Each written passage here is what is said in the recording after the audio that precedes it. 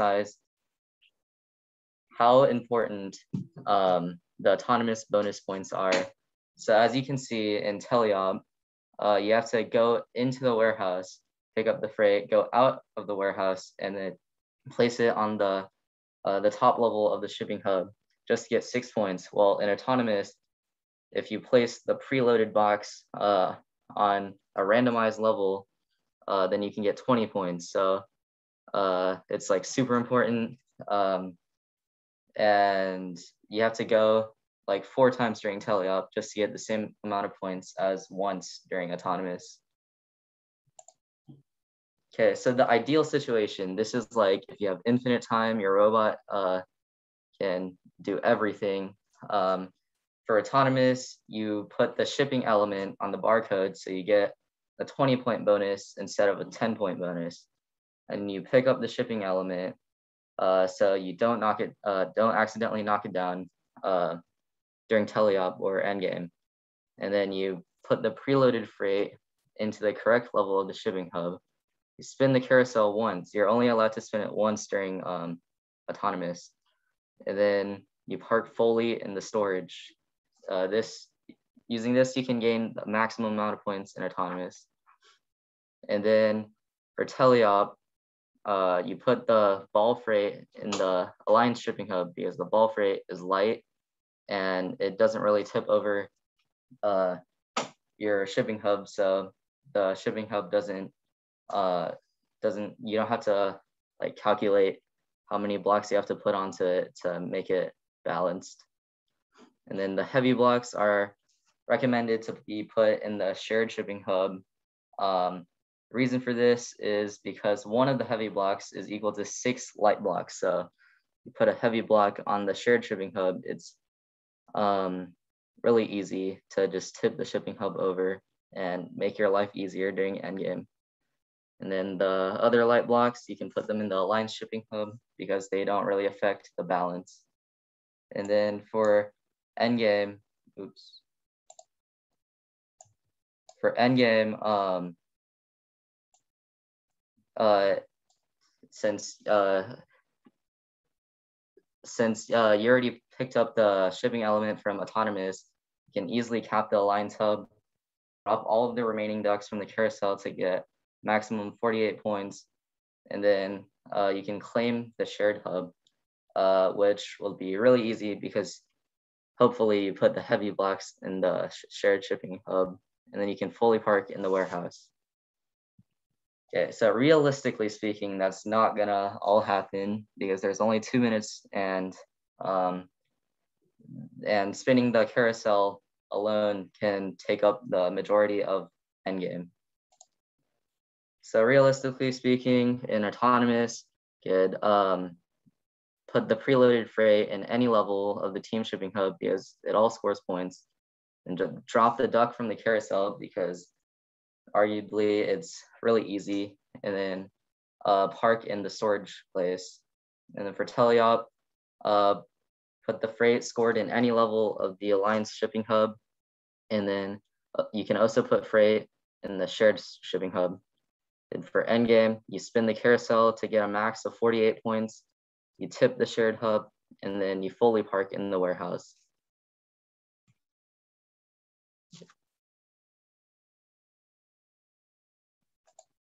Vincent, here. So for the for the drivetrain or the chassis of your robot, uh, there for this game, there are constraints your robot has to be 18 by 18 by 18 inches and it has to um, stay outside the, of the weight limit. Next slide, please. And uh, your robot has to, or this is because the robot has to travel through the barriers. Next slide.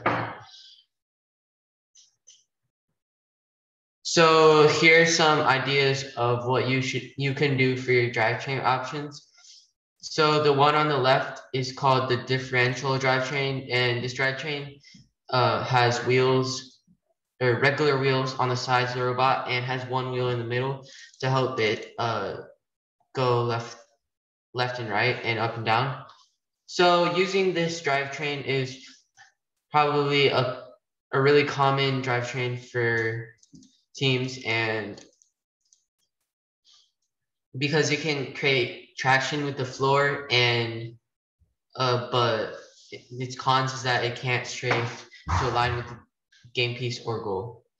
So for the right one, it's or it's called the Mecanum drivetrain, and this uses Mecanum wheels, which allow the robot to steer or to like turn and go places where the differential drive can can't because they only have straight wheels.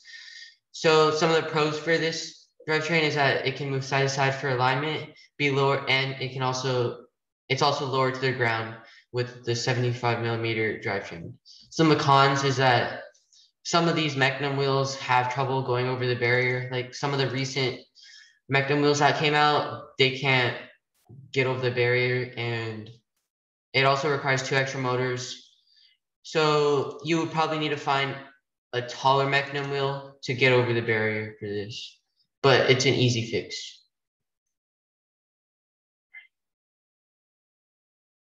Next slide.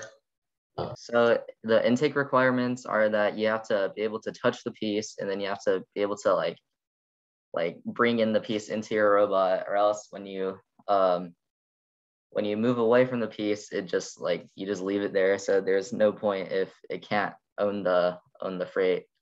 And then it also has to be adaptable because there's three different weights for the for the blocks and uh, uh, there's also a circle uh, a sphere shaped uh, freight. So it has to be able to pick up all four of those. Else, uh, the drivers are going to have a really hard time. Uh, and then it's really helpful if you design um, your intake to only pick up one. So during autonomous, you can easily program it uh, so that um, you can go into the warehouse, randomly pick up one, and then not worry about it picking up multiple and um, uh, getting a penalty and you also have to have a way to release it. If you can't release it, there's really no point in bringing it in because there's uh, no way for you to score points. Okay, so the first uh, idea is arm intake. Um, some of the pros are that you can easily grab the piece and you can easily make it um, limited to only grab one. But the problem is when you um, when you bring the arm up, uh, it's not really reliable because it doesn't um, give enough pressure so that the piece doesn't fall down. Uh, the second way is a side roller intake. Um, some of the pros is that if you angle it correctly, it can easily bring in the piece and you can easily modify it so that it can only bring in one piece. The con is that uh, it's really heavy. It uses two motors, and uh, to use this, um, it's uh, if you put it on an arm, then it's really hard to uh, for your arm to be able to uh, be able to hold it up uh, without falling. And also, if you don't angle it correctly, the tubing can easily just um, can easily push the blocks away from your robot instead of putting them in your robot. Okay, the last idea is roller intake.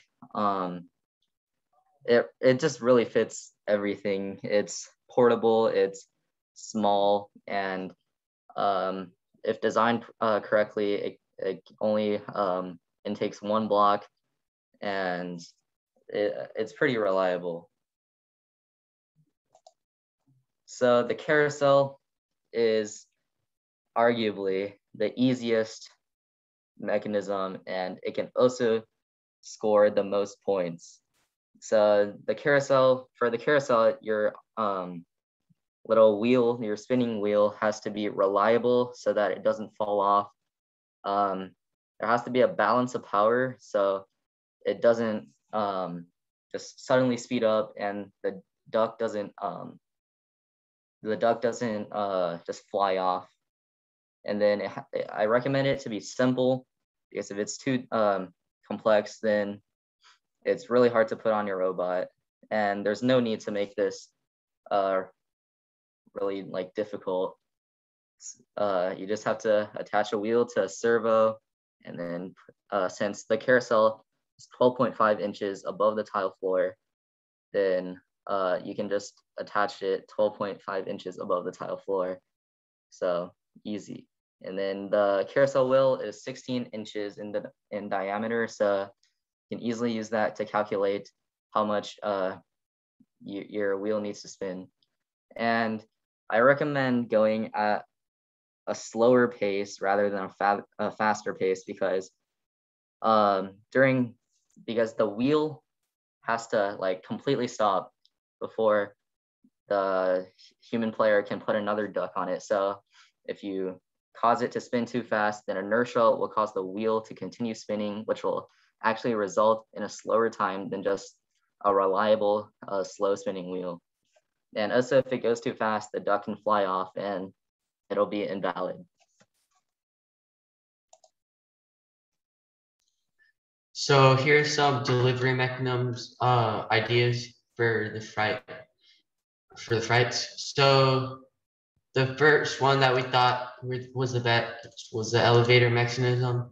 It's it's what you think it is. It's basically a pulley with string attached to it, and basically, uh, yeah, pulls it, and and the second one, or oh wait no, it's numbered one.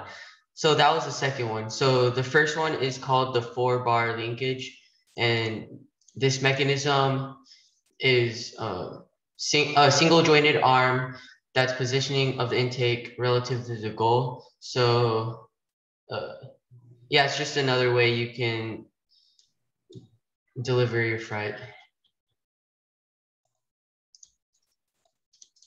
Okay, so thank you. This concludes our presentation. And do you guys have any questions?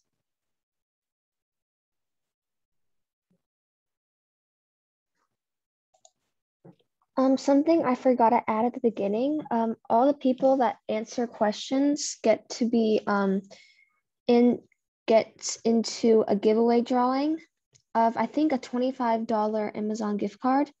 So um, anyone who asks a question um, gets into there. So that's some incentive to ask. Oh, and uh, your robot does not have to put the custom shipping element. It's just recommended. It, you can put the duck and um, however, if you do get the correct like layer of the shipping hub, you only get a 10 point bonus instead of a 20 point bonus if you put your duck there. So the shipping element is recommended because it can get you more points.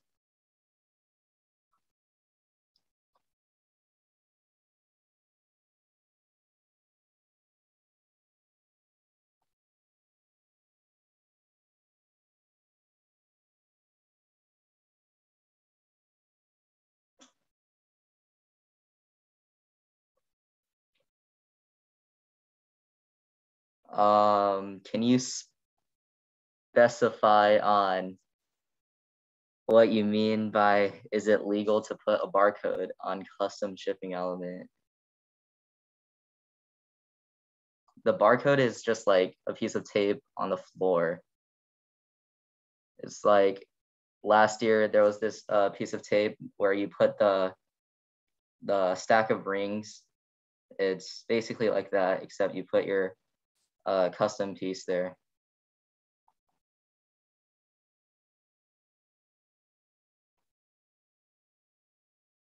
Um, you can put like a real barcode. It's just like, if it doesn't affect the opponent's robot, then it's fine.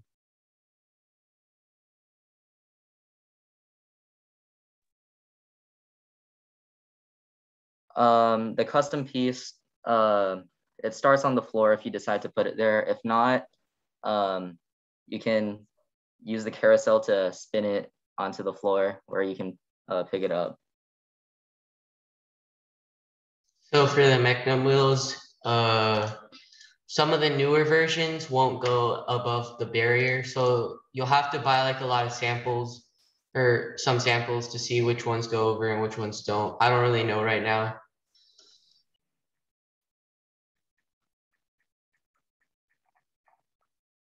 I would recommend getting um, larger Mecanum wheels so they don't get stuck between the gap of like the two pipes and stuff.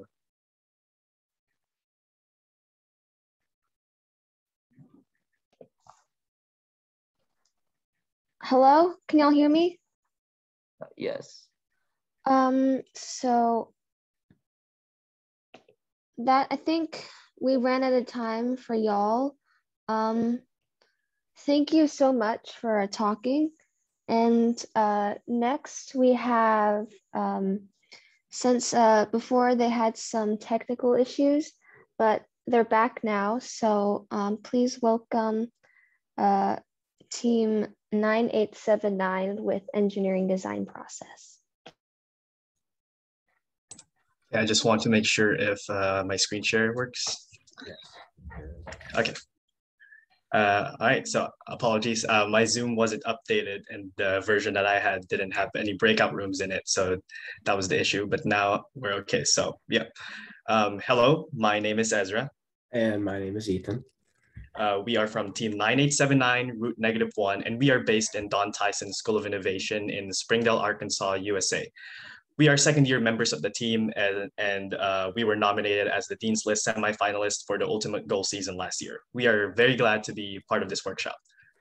For our presentation, we will be talking about our engineering design. We will be using slides from our engineering portfolio in last year's game, Ultimate Goal. However, it is good to note that we roughly follow this plan every year.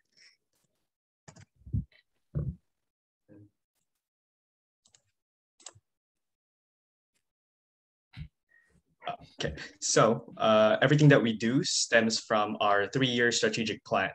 Our engineering design is based on the mission and strategic actions. So the uh, these rectangles um, to the three parts of the strategic plan, which is uh, mechanical design and control system. It's the first two columns. Um, it is good to note that uh, everything that we do is not actually uh, in this strategic plan is it's just a rough guide that everyone follows. Additionally, uh, at the end of the ultimate goal season, we actually graded ourselves in order to evaluate uh, how well we did in terms of following the three-year strategic plan. This is how we visualize our engineering design timeline.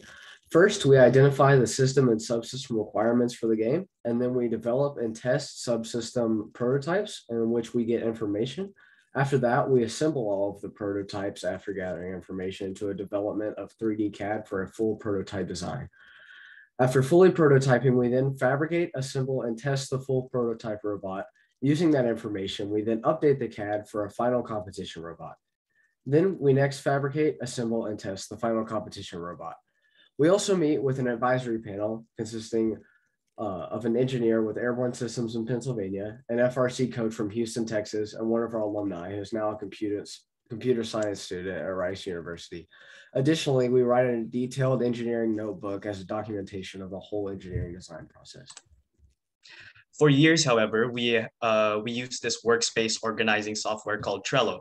So before we wrote everything in the engineering notebook, we would make cards in these uh, in Trello, um, and these cards are uh, within separate lists. And we describe the cards, we attach images and videos, set deadlines if necessary. And there's a feature where you can add a checklist so that every member can track uh, our own progress.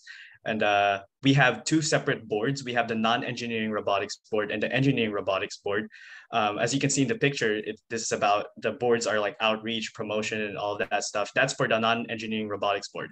But for engineering notebook, before we wrote all of this stuff, we we had cards first in the engineering board in uh, in Trello. So moving on to the first stage of our um, design process, um, we would do uh, a whole meeting. We spend several hours first discussing the game and its rules. And then right after, we don't do any designing and prototyping. We just, uh, we decide on our system and subsystem requirements. So you can see there's a huge list here. Um, there's like an autonomous strategy, um, drivetrain and control requirements, and different requirements for each subsystem. Um, as you can see, some of these are actually crossed out because in the middle of the build season, we they were deemed uh, either inefficient and or uh, unnecessary. So for example, number two in the initial autonomous strategy is launch three rings at power shot targets. in an ideal world, launching three rings at power shot targets is really good, but the risk of not hitting three ring, uh, not hitting three power shot targets all the time outweighs the benefits of actually hitting all of them. Um, and so that was removed. And some of these actually have a red font, and that was because they were added in the middle of the build season. So, for example, uh, so the power shot targets were crossed out. If you see number four in the autonomous strategy below, there's a there's a launch three rings at high goal was uh, had a red font because we added them when we crossed out the power shot targets because we almost always hit three rings at the high goal during autonomous, and so mathematically um, we had we were better off shooting three rings at the high goal all the time. So another example of the red font thingy is the number 11 in autonomous strategy to collect and score the second wobble goal. We participated in uh, remote scrimmages and remote uh, and, and, the Alabama remote tournament. Um, and we realized that we had time in autonomous to score a second wobble goal for extra points. And so, yeah, that was it for the that's it for the subsystem and subsystem requirements. I'd also like to add that our final competition robot has more than 30 fabricated custom design parts. As we worked through our design process, we improved our mechanism using the information we gathered from the prototypes. For instance, we improved the drivetrain by reducing the weight and improving the rigid structure. We stuck with the mechanism, however, because we did not feel a need to go any other way. We improved the wobble system subsystem by making the arm more compact and stable, increasing the gripper's surface area, and making it easier to preload the wobble. The gripper uh, increased surface area allowed for the driver to have a much easier time and save us very valuable time when scoring the wobble goal during the end game. Uh, in ring launching, we made adjustments and improvements to the flywheel, magazine, and trigger for our shooting system. We also attached the launcher at a 26 degree angle to give ourselves a wide shooting range. And so let's move on to the control system. So this is actually like a common like uh, flaw in a lot of teams, including our team in the past. It's uh, not including the control system components, uh, which is uh, the electronics and all that stuff at the beginning of the initial design process. And that usually leads to uh, sizing problems, accessibility problems, and most of the time just messy wiring.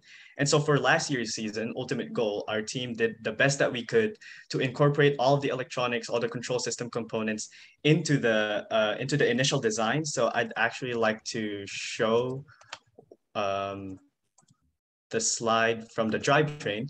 And so the two final stages of the drivetrain, which is our prototype drivetrain and the final drivetrain, you can see here that we actually left a lot of space for electronics and pos and left also some extra space for the other uh, subsystems. And so we we planned the wiring ahead. We uh, we didn't have any sizing and or accessibility problems. We tried to minimize it. And of course that bore fruitful results. Um, we leave uh, typically one or two weeks before competition to completely test our robot under tournament conditions. We record all scrimmages and lay out detailed statistics so that we're informed on what we need to work on. For the ultimate goal season, statistics were used to continuously improve our autonomous and driver control period. That is all for our engineering design. Uh, thank you for having us, and we are glad to answer any questions you may have.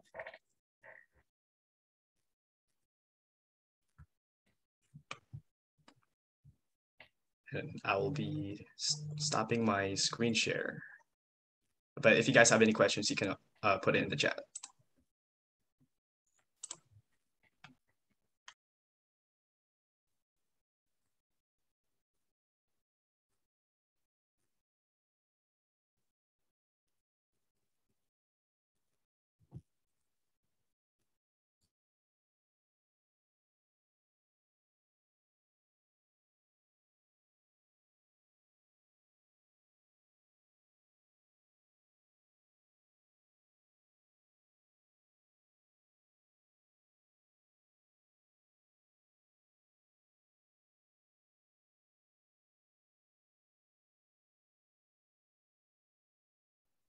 Well, if nobody has any questions, then we'd like to thank you guys for giving us the opportunity to present our design process and giving us the time to speak. Thank you very much.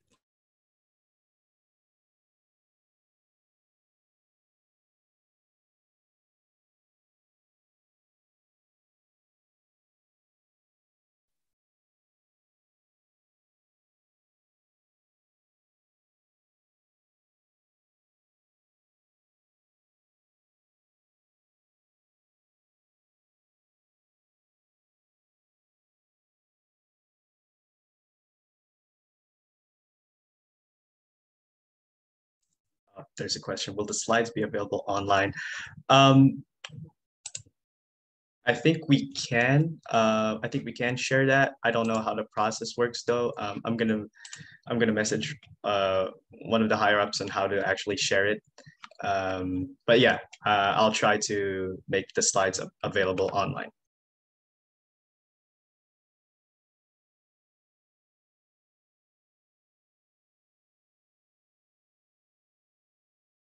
Yep, no problem.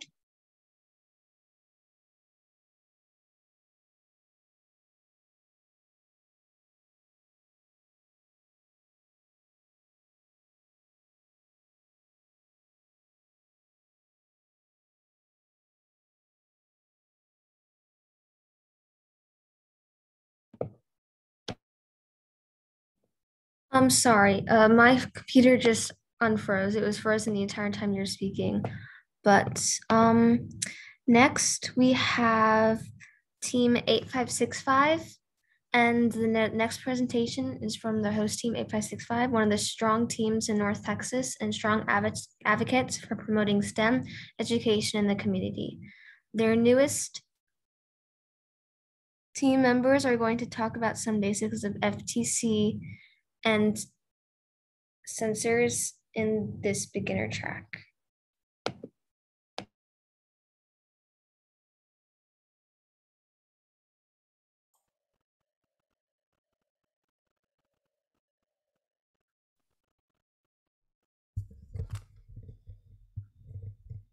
This is FTC Actuators and Sensors 101 presented by Team 8565. Uh, hello, my name is Isaac. I'm eighth grade. I go to Rice Middle School and I like playing video games. Hi, I'm Michael. I also go to eighth grade. I go to Rice Middle School. And I like food. So today we're going to be going over types of actuators and when to use which, uh, DC motor rules and programming, uh, and we're going to be going over like motor modes and and like demo like the difference. Uh, we're going to also be going over rules and servo programming, and we're going to go over sensor uh, usage and rules. On the right is the Rev Robotics Mecanum chassis, which uses four DC motors. Servos are good for smaller, more precise items, such as a shooter trigger. On the left is a shooter trigger from the 8565 CAD used in Ultimate Goal.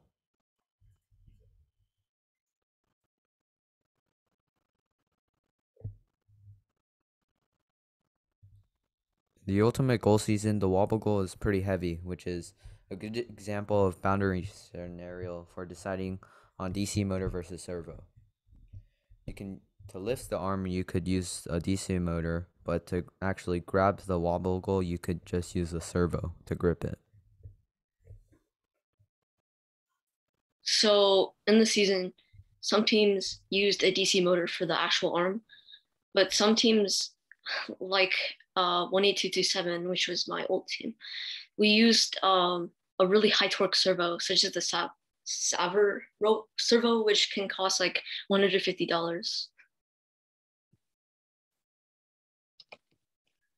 So what types of DC motors are used? So on the screen, these are like, um, I'm pretty sure it's most of the legal motors that you can use, um, such as the Core Hex, uh, Rev HD, Planetary, which you can switch to gearboxes you can have one, two, or three gearboxes.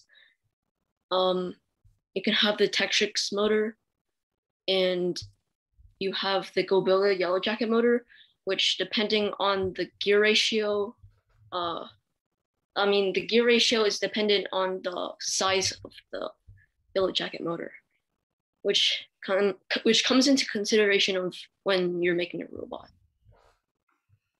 So how to control a motor in Java? Well, you just have the initialization, which is pretty simple. And then to actual like run the motor, you can set the motor power between zero and one. One would be full power, zero would be to stop it. So to control a motor in Java, you have um, you can set the direction to forward or reverse, and then you can set the behavior to brake or float. Um, There are four different motor modes you can set. The first one is run without encoder, which pretty much doesn't use the reading of the battery, although you can still read encoder values despite the name run without encoder. The next one is run using encoder, which is pretty much the same as without encoder, except it can use the reading of the battery to run amount the right amount of speed. Run to position, pretty much it has the motor turn to a specific position that you tell the motor to using a PID velocity system. And then finally, the last one, stop and reset encoder, just resets the encoder value.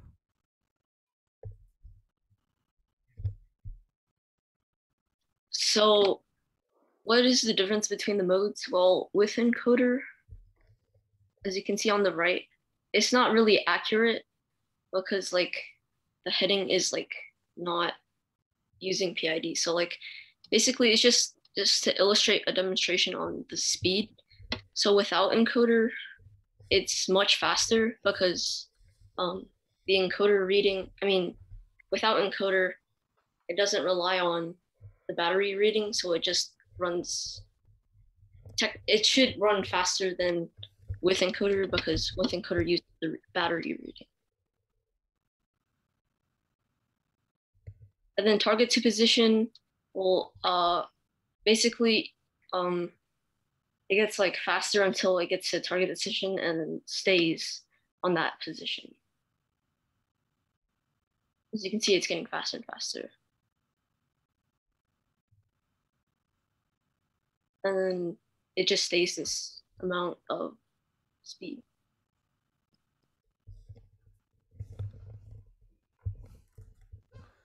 Servos move to a specific position, unlike motors, which run off power. There's also the continuous servo that does actually run off power. Commonly used FTC servos are the Rev Smart servo, which has a range of 270 degrees and is also able to be programmed. The other one is the goBILDA 2000 series dual mode servo, which has a range of 300 degrees. As fat as it comes in three variations: speed, super speed, and torque. Well, unlike the Rev Servo, Rev only has one variation. And actually, the goBILDA ones are actually, st- they're both programmable, not just the Rev one. This is how you initialize the servo. And in auto, it pretty much just turns the servo 0.5 rotations. And the bottom one, it pretty much the servo turns to how much you press the gamepad right trigger. So if you press it more, it'll turn more, and if you don't press it, it just goes back to its default position. And you can also set the position in teleop by using like a key. And you can even use like the analog stick to like give it more diverse like um values. So for sensors, uh, any sensor is compatible. Any sensors that are compatible are allowed. So uh, basically, if you can plug it into the control hub or the expansion hub, it's basically allowed. Um, so like mostly used sensors are touch, color, distance, in some cases magnet limit switch. And on the screen, you can see different pictures of each one. The touch sensor returns a boolean value to indicate whether it's pressed or not. It plugs into the digital channel. In Skystone, we use it to detect if a brick is in the intake system so it could close the auto so it could automate the claw close. So in this video, like it's gonna show like how the brick is intaked and how the robot reacts. So as you can see, the brick touches this pad, which is actually um, much bigger than the actual touch sensor like button because like this button is very small. So by using this pad, the brick can like be detected, and then it like flashes red LED lights, and the claw automatically closes. Because in the Sky season, the driver actually sometimes forgets to close the claw inside. So by using this, it can help the drivers a lot.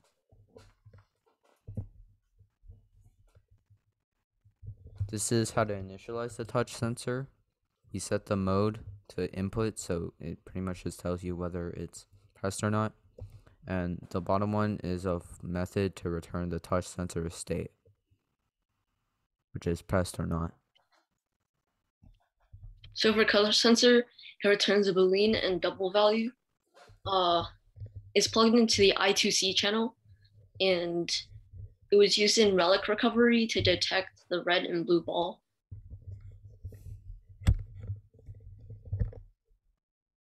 So as you can see, this is the color sensor on the end. Uh, well, you can't really see it. It's a little bit out of frame, but it's supposed to be here. And it detects either if it's red or blue and then knocks it off. And how to use it? Well, you initialize it using this, and then basically in this code, it detects hue value, which is HSV values. And then this is an array, which is supposed to be for hue, value, and saturation, but in this case, zero is in one in Java, so it's hue value. And then you have, you compare it to the hue value, so you can compare it to 15 and 24, which is the hue values for red. And in this case, if the color sensor detects red, then you can set the motor power to zero. This is the distance sensor. It returns double, and it's also plugged into the I2C channel.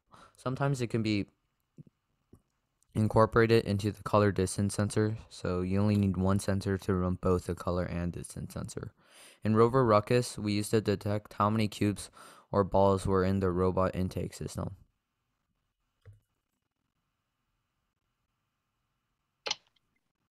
So as you can see in this video, when you're intaking, uh, wait, so the LEDs actually flash.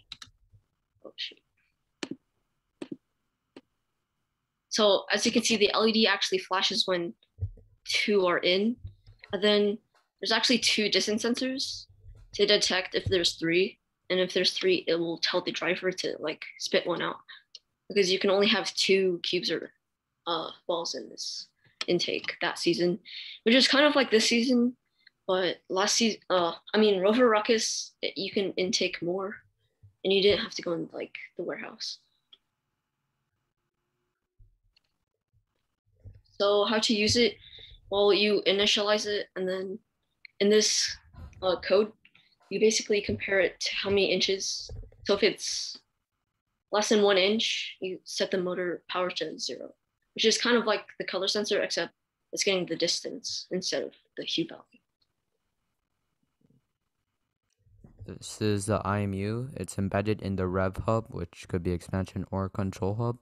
It works by integrating tiny acceleration changes over time and can return your heading, pitch, and roll. It's very effective for turning a specific angle using PID or a P controller. And it can also redrift over time, but it becomes inaccurate after around one minute of movement for absolute angle. This is how to initialize the IMU. And in the middle code, this is very important if you want to get the heading. We pretty much just set the axis, reference, intrinsic, axis order, angle unit to degrees. So it returns degrees. You can set it to radians and sadly not gradians, only radians and degrees. And at the bottom, it turns right for 90 degrees and then it sets the power to zero. So basically, um, the IMU when you initialize it, basically it gets like the first angle your robot is oriented. So for the magnet limit switch, basically it, re- it returns a boolean value. Um, it pl- it's plugged into the digital channel, and it detects movement on the robot, like on the linear slide. So in this case, the magnet limit switch was used to detect its limit. So basically, in the season, you didn't need really a middle position when you're stacking the stone. You could go like as um, short as possible or like as long as possible. There's not really a middle position. So that's like a perfect opportunity for the magnet limit switch because it detects, um, it can like detect the limit.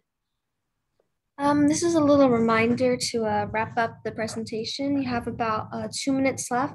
So try to we're like wrap it up. Okay, so we can get to questions. So when you use a magnet limit switch, you initialize it, and then you get um the state, which is like a boolean value.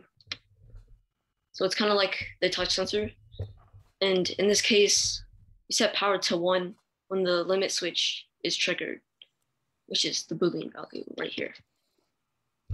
So any questions?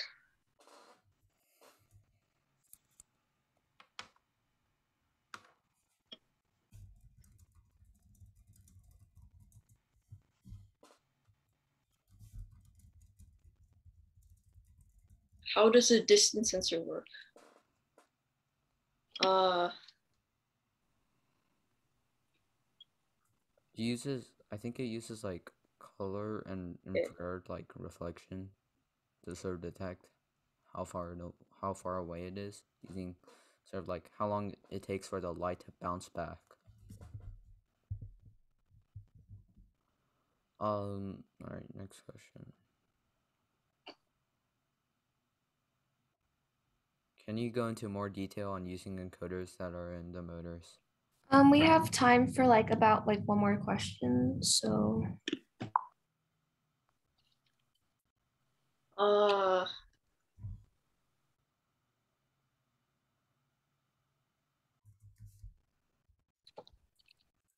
You talking about this?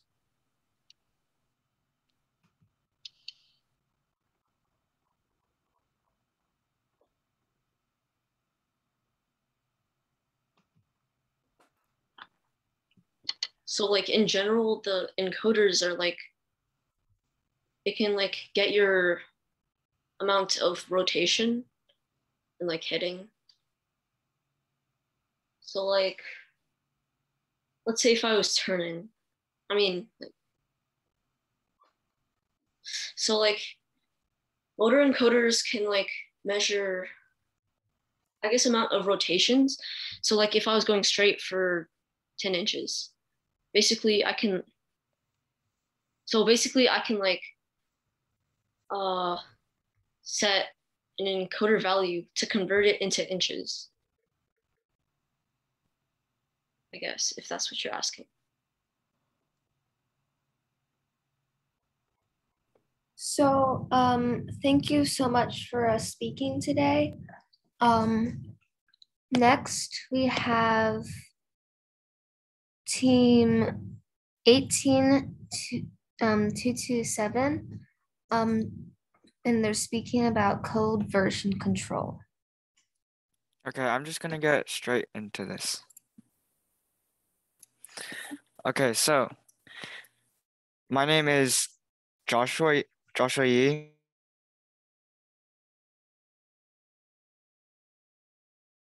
FTC, so I'm fairly new to this. Okay, so I'm gonna be going over version control, and then I'll I'll be going to, and you can uh, feel free to follow along while I'm doing that. Okay, so, uh, why is version control important? Does anyone have any ideas? Okay, well, version control basically shows the history of your project, and that's basically um the the edits you've made and when you made them. So you can sort of think it think of it like um Google like Google Slides or Google Docs. Like um you can you can see your past edits and then revert back to them whenever you want. So uh, Git also allows you to recover your data. So, for example, if you if you if you accidentally um, like make a change you don't like, you can revert to a previous version. Uh, yeah. So Uh, yeah. So it Git only stores the information on your computer. So say you're like your computer your computer gets damaged somehow. Imagine you, you you're like using a Chromebook and it somehow explodes, right? Well, the code was stored on like the information was stored on your computer and so you can't really access it. And the the backup, which is um, stored using version control, was also on your computer. So you've lost you've lost all your data, and there's basically no way of recovering it. But that's where GitHub comes in. Yeah, so that's uh, this is really important. Git stores uh, the data locally, which means um, it stores it on your computer. Yeah, and that's where GitHub comes in. So GitHub uh, is a way to um, like host your host your projects online. So it's sort of like Google Drive, right? Because you can like upload your projects and then you can and then GitHub also allows you to work with other uh, collaborate with other people, and that's really important when in FTC since you it's not just one programmer like uh, writing code. You have a lot of people working on it. So some important terms to know are repository, commit, and push. Uh, these are really simple. Repository is just like uh, your project. Commit is saving locally to, to Git. And then when you want to save it to GitHub, which is uh, online, it, you just push whatever you want. Yeah, so feel free to ask me any questions, but I'm gonna, I'm actually gonna demo this, uh, like how, how to use version control. So to, so cloning is just downloading, like basically down, making a copy of whatever you want. So uh, when you find, yeah, and feel, feel free to follow along if you have like Git and Android Studio. Yeah, so um, to clone, you can either just download it and then unzip it like that, or you can uh, copy the link of whatever you want to download and then go into what, whatever folder you want and then you can do git clone and then paste the link and that'll that'll also download it. Yeah, you can see that. Yeah, it it does the same thing, but it's like much much faster. So I've already downloaded this. So yeah, so uh, once you have this, you can, once you download it, you can just open it, and then yeah, to upload it to GitHub, you can you simply make a new repository, and then yeah, so to set up version control, uh, it's it's very simple. So you first go to version control, the version control tab uh, at the top, and then just enable version control and then select Git since that's what we're using. Yeah, and then, uh, yeah, so you have to actually like push it to the repo. So uh, first, yeah, so commit, uh, if if you remember from earlier, is just saving to your to like look to get, which is local. So if I like add a comment here and then commit, it'll like, well, I haven't actually committed anything, but yeah, so you can just commit, like you can just save it to Git. And then once you, let me just add those real quick. Yeah. And then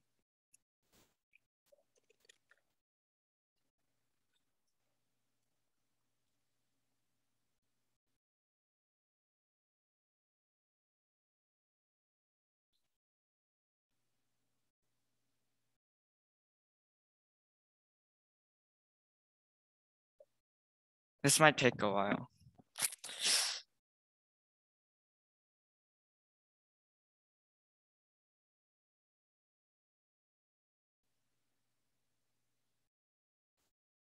Yeah, so then to, so you want to like upload it to your um, repo. So uh, go to git and then push, or you can also push it from up here.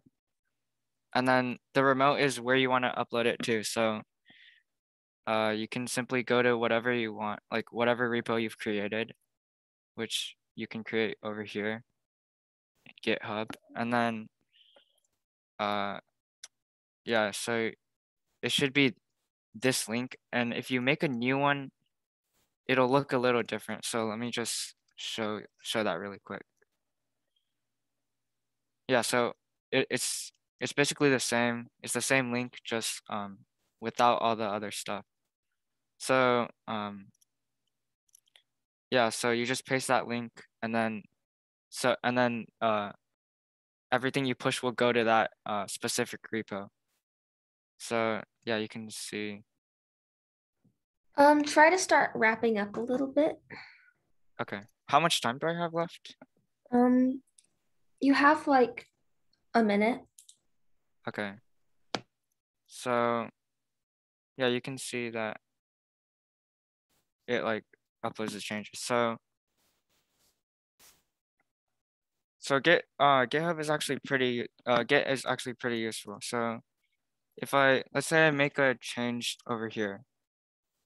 If you go here, it'll show you what changes you make. So yeah, it shows you like what you change and it'll and then since it, I haven't committed it yet or anything, it shows up here.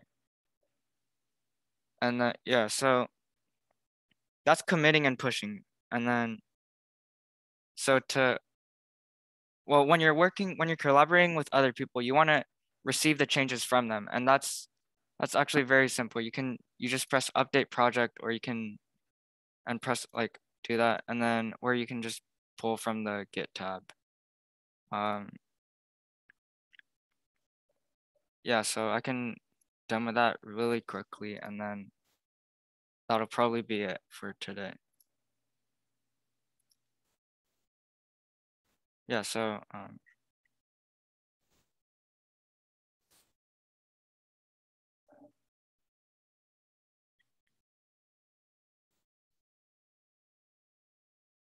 Yeah, this would be a good time to uh, stop. Uh, thank you so much for uh, talking. yeah, okay. Yeah, thank you for allowing me to talk about version control. Of If you have any questions, please feel free to contact me. Thank you so much for saying talking. Um, next we have team 18175. Um, the techies, uh, we have the techies team, team 18175, a team and nonprofit organization based in South Charlotte, North Carolina. They are a team of 10 people and two coaches. Um, hello. Um, we'll be presenting.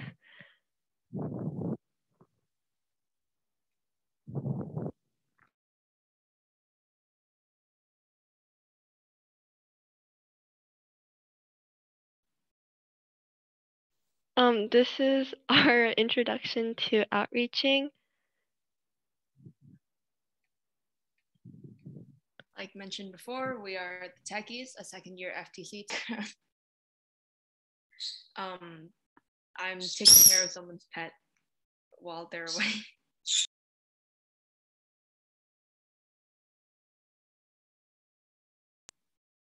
Why outreach? For one, it's an integral part of FTC. You can help your team get more people interested in first and robotics, recruit new members, build influence in the community, strengthen your relationships with other teams,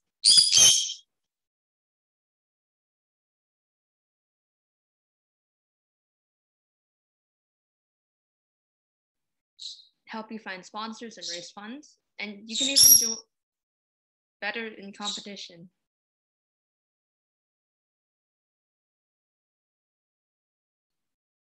Some challenges that you might face being maybe a rookie team or you haven't really started doing that much outreaching is that you don't really have many connections to the FTC community. It's hard knowing where to start. It's very time consuming. There's a lot less interest in it, like building, programming, designing, and it's a scary concept, especially to people who haven't done it before. And it has it needs skills like communication and presentation.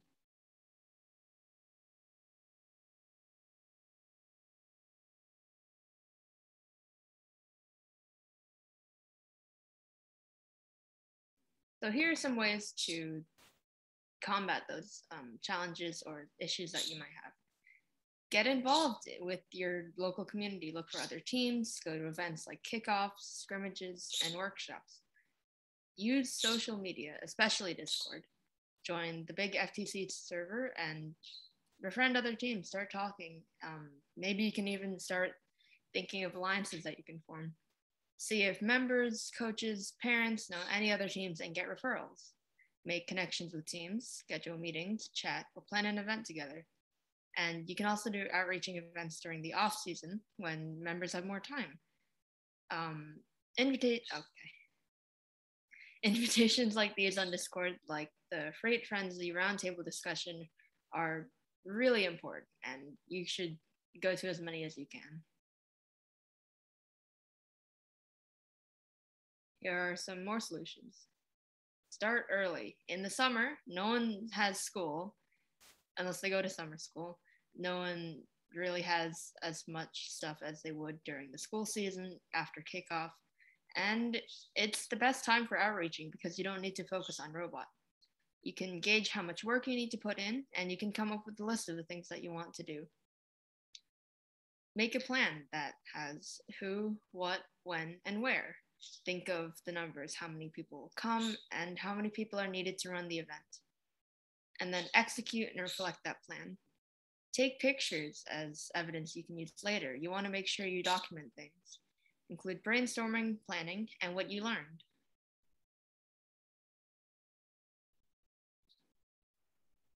And I'll let Stephanie take this one.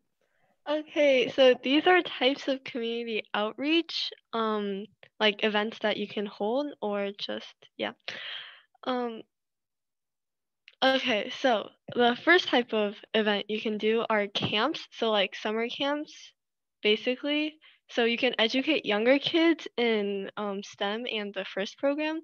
So basically, you want to introduce robotics in simpler ways um, that are also like fun and creative. So you want to like make hands-on activities that are probably more interesting than just uh, making younger kids sit through lectures. And normally these are longer and require a lot of planning because they span uh, over multiple days. Workshops. So like this one, um, this is a workshop. So um, you can host a workshop. You can participate in a workshop, like make a presentation about something your team is good at or you could just join workshops and learn from other teams who maybe have more experience. Open houses.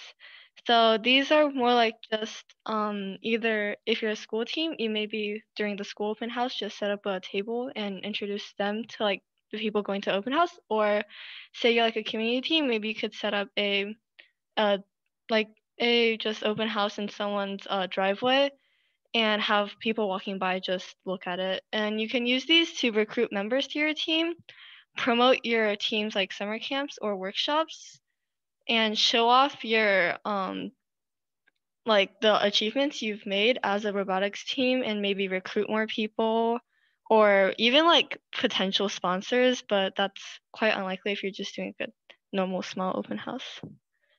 Uh, mentoring, you can first you can uh, ask mentors to mentor you. That's a form of outreaching. So get someone who has a um, who has expertise in an area that maybe your team needs help with, and they can help your team learn about this, learn about the area. Or you could uh, teach younger or less experienced FTC teams to like FLL, so younger uh, FTC teams. Or you could um, go help out at a nearby school that has a team or open a team in a nearby school. Or you could just uh, help mentor local uh, First Lego League teams or First Lego League Explore teams, also called First Lego League Junior. Um, you could also, another um, outreaching form is demos or expos. So basically, like you could go to a like science center, um, a school and demonstrate robotics to the general public. So maybe um, take like your team's robot and drive it around, show people it. And this can create more interest in robotics with the general public. And also, last but not least, probably the most important, use social media to your benefit.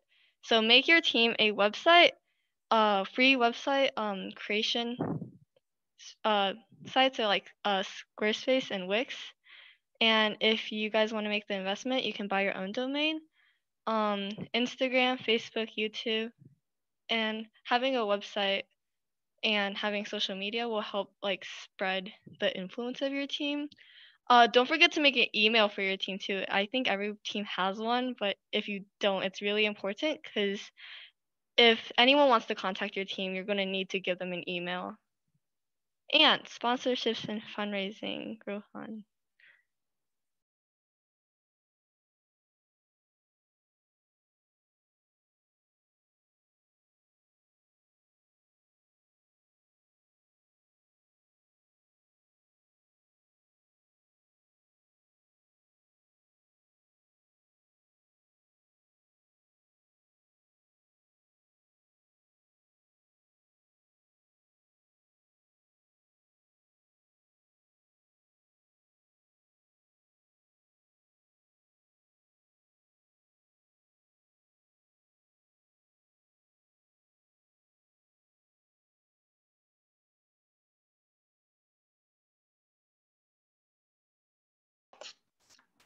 Okay, sorry. Uh, sponsorships and funding.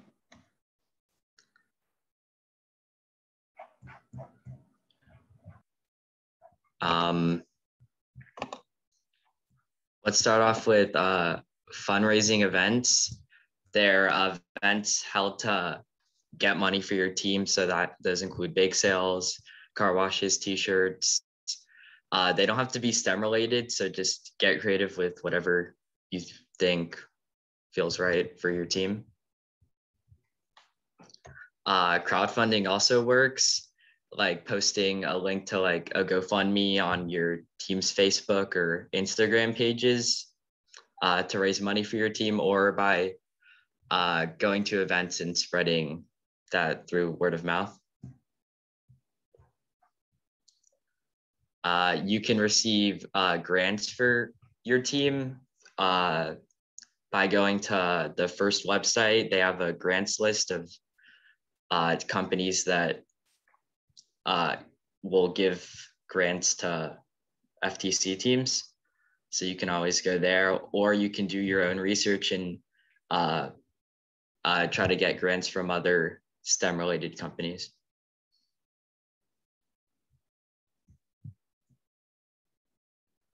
Uh, and last is sponsorships. Uh, they are just, they're similar to grants, but they just have other companies give money to your team by like, uh, what's it called? Emailing them and going to their websites.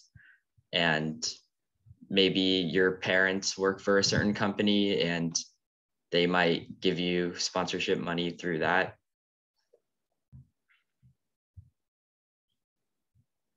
Uh, team member dues, this isn't recommended, but if your team needs money and uh, your team members are willing to give money to support the team, then you can always do team member dues.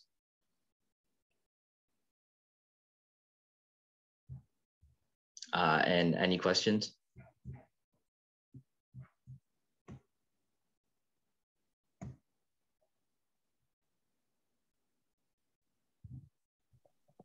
Um, for anyone who wants the link to the slides, I I can put that in chat. Just give me one second.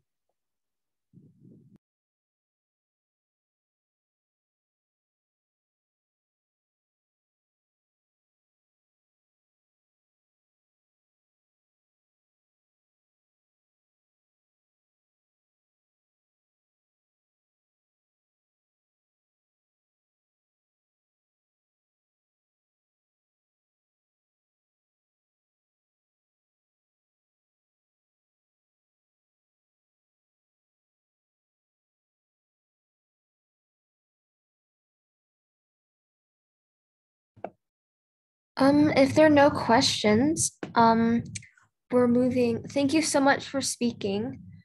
Um, we're now moving on to giveaway drawings. Um, you will, will there we'll draw twice. The first time will be for a $25 go goBILDA store coupon. And then the second drawing will be for two 5,203 series yellow jacket motors. So, um, Andrew, uh, can you share your screen with, with the spinning wheel? And this uh,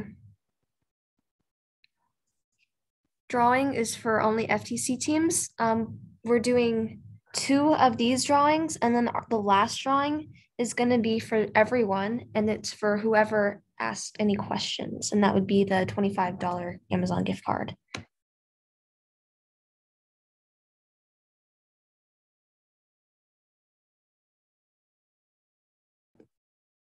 Um, you can spin the wheel, I guess, now.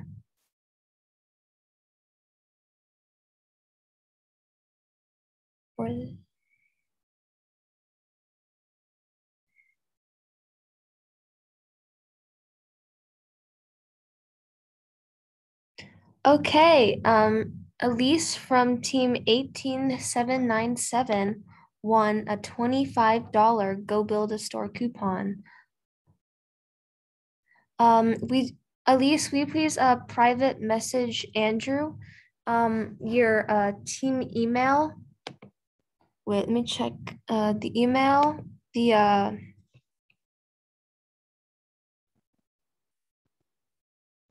um, the team name, number, um, contact number, and email address. That's what we need. Um, so if you could work on that, that would be great. And uh, can we, uh, oops, uh, oh,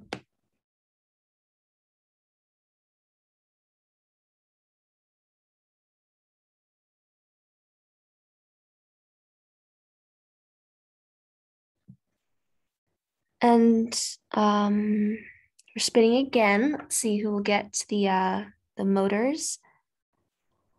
Um, I'm so sorry. I don't know how to know how to pronounce your name, but team one one four seven two won the. Uh, let me find the description. The 5203 series yellow jacket motors. Um, would you also please uh, private message Andrew your uh, team name, number, and where he can contact you?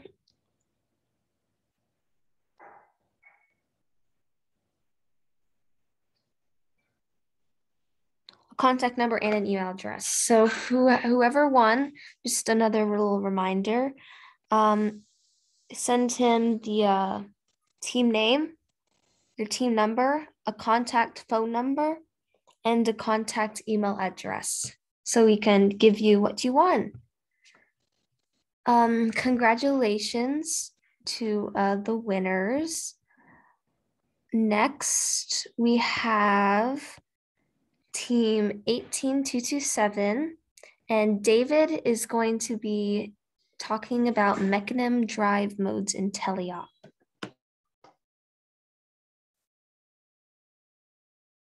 Okay, hi, my name is David Hu. Uh, I am a builder on team uh, 18227 ACP Area 52. Today I will be teaching uh, how to program Mecanum drive in teleop. So here a little bit about me creator at the St. Mark's School of Texas in Dallas. This is my second season participating in First Tech Challenge and my fifth year participating in First overall. In my free time, I enjoy playing video games and cello. So here's what we're going to be doing. Uh, first, we're going to cover how a Mecanum chassis works, basic tank drive code, then another uh, form of uh, driving for Mecanum chassis, and then called arcade drive, and then arcade code. So how does a Mecanum chassis work? So a Mecanum chassis works really similar to a just a normal six-wheel chassis, except it has the option to strafe. So for tank drive controls, the code is going to be the same. Um, move forward with your joysticks are forward, move backward with your joysticks are backward. But then strafing is going to be different. Since the Mecanum wheels have rollers, they have the ability to slide side to side without moving the orientation of the robot. So this is very useful for like lining up. If you want to line up to a certain place in the field uh, and you don't want to turn and like re like turn, then it's a lot easier. So strafing, you have to have opposite side motors have the same power. So four motors on the robot, the, the robot, let's say the motor on the left front and the motor on the right back have to have the same power. And the motors in the on like the right front and the left back have to have the same value. So here's a little quick demo. You can find the, I'll post this website in the chat. So for let's just say for first for moving forward, it's just simple. All motors are going forward.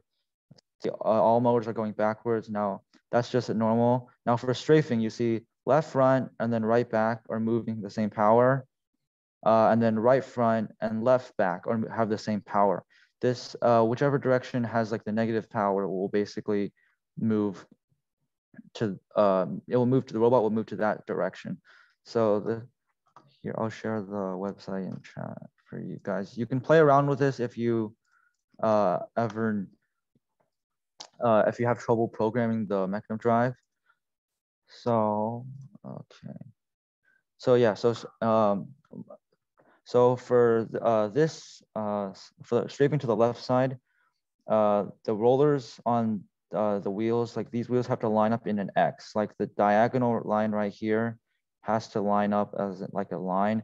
And this side also has to line up at like an X. So they intersect in the middle. You can't have the wheels, uh, if you switch the wheels on opposite sides, then uh, the, the strafing won't work. So the, the, the orientation of the wheels uh, is a big uh, part.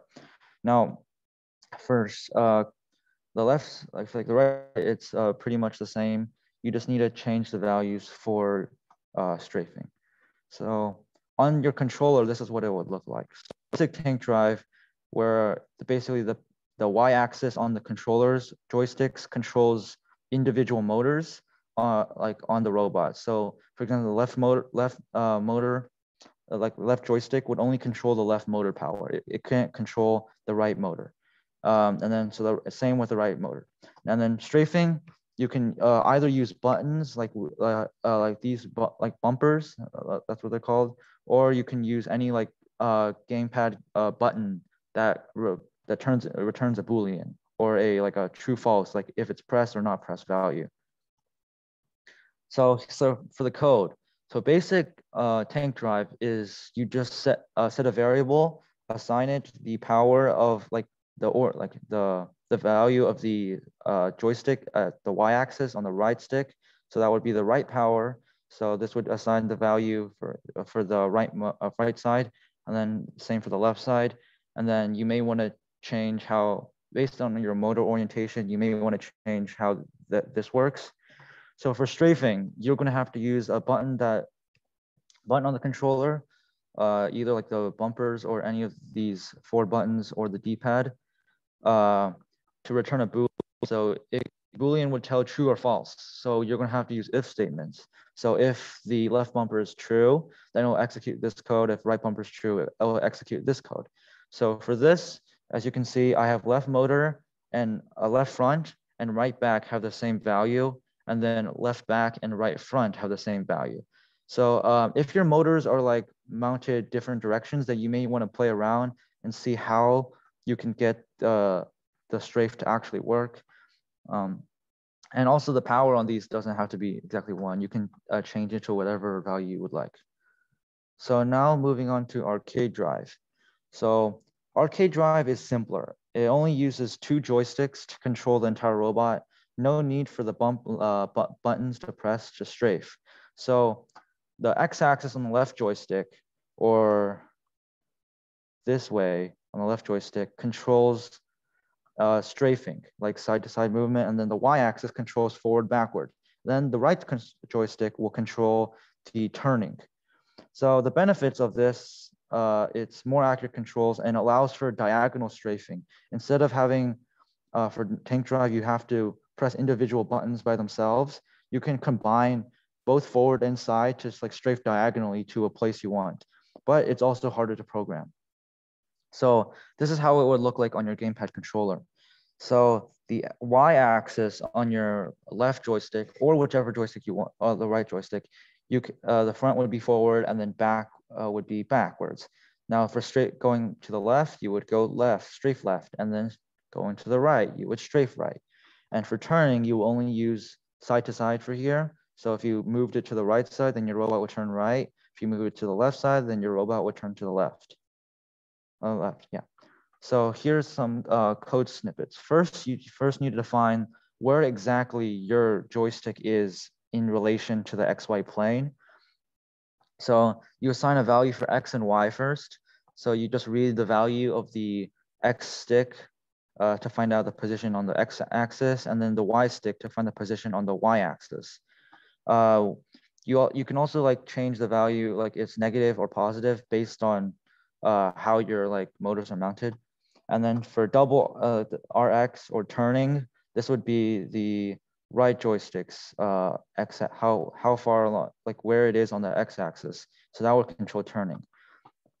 So uh, for the uh, for the let's see uh, for the, for now applying it to the motors, you uh, the turning has to uh, is first like you first need a uh, either a plus or a minus for turning. Since left is uh, left left is left side, so say like you want to turn to the uh, to the right, you would make the left power the same and the right power the same. So that's why left is plus plus and then y is minus minus. But this may be different for your robot depending on how you mount your motors.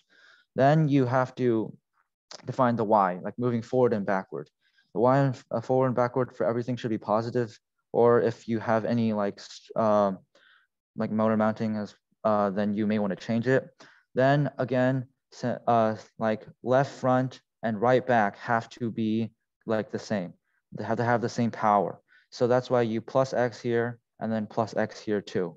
And then minus X, minus X. Or you can change these minus the pluses, but as long as the left front and the right back have the same value, and the left back and the right front have the same value, then uh, it should work. So now the clip function you see here uh, is used to limit the uh, like the values that this can be. For example, if you have like uh, y equals uh, one, uh, rx equals like one, then if you had this, it would be one plus one. Uh, and then uh, like if you were to ever have this value go over one, which is like the range the motor can in, uh, have a value, like set value, because motors can only take values from negative one to one, then the clip function basically takes this value and reassigns it into the range of negative one and one. So here's a demo of how a Mecanum chassis should work.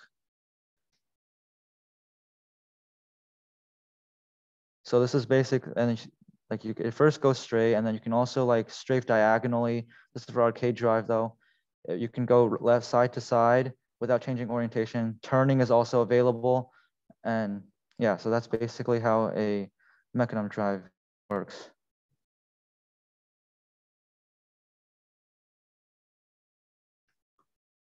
Okay.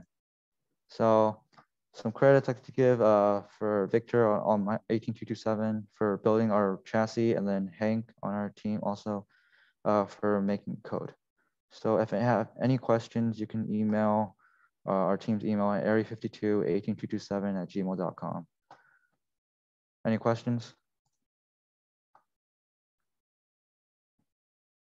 Okay, uh, Nathan, are Omni wheels better or Mecanum? So Mecanum wheels, they they unlock the ability to strafe. Omni wheels are they technically don't give you a, a like they, they're, they're used for tank drive. They don't. They're uh you could like use them for like six wheel Mecanum chassis, but if you want like a robot that can do side to side, um, without turning, then Mecanum would be better.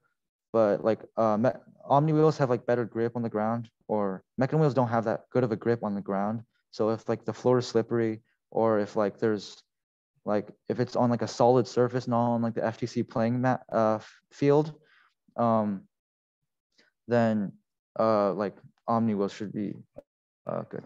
So uh, okay, uh, Ayush, uh, how precise are the mecanum wheels? Um, the, the, the how precise mecanum wheels are depends on how good your code is.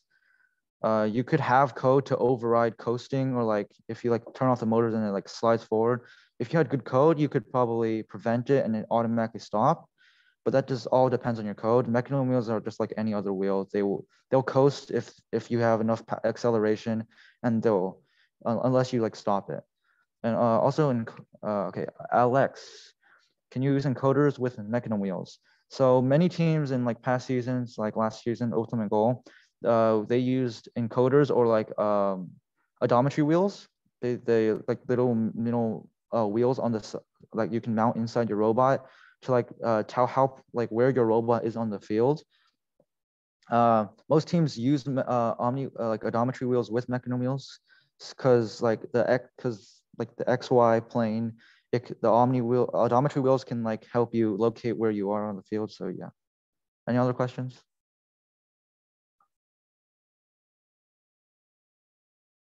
Okay. Thank you, guys. Thanks for speaking. Um, next we have, let's see here, team 12635, and they're going to talk about the intro to 3D printing. Um, let me see. Curiosity Robotics is a 15-member team from Palo Alto, California, with four years of experience in FTC. They are presenting an introduction to 3D printing in FTC.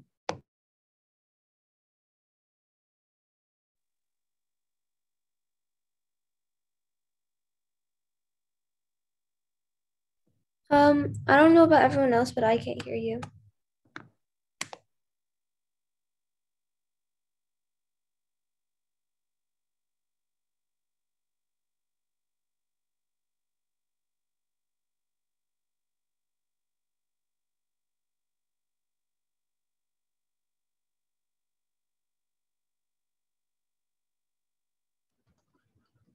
All right, can you hear me now? Does that work? Yep, it works. All right, great. Let's try this again. All right, does it work now?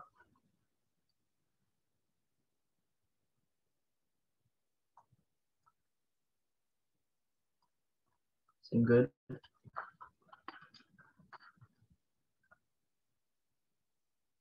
All right, I'm just gonna start. Uh, hi, I'm Reed. I'm from Curiosity Robotics.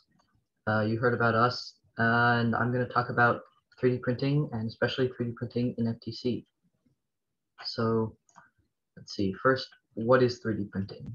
3D printing is a manufacturing process that allows you to quickly and easily make custom plastic 3D plastic parts from a 3D model.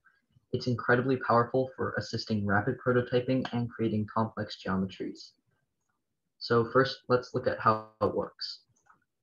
On the hardware side, 3D printers are just a motion platform with an additive toolhead. Additive manufacturing is the opposite of milling or cutting, which are examples of subtractive manufacturing. The key difference is that 3D printers add material to the part as they go.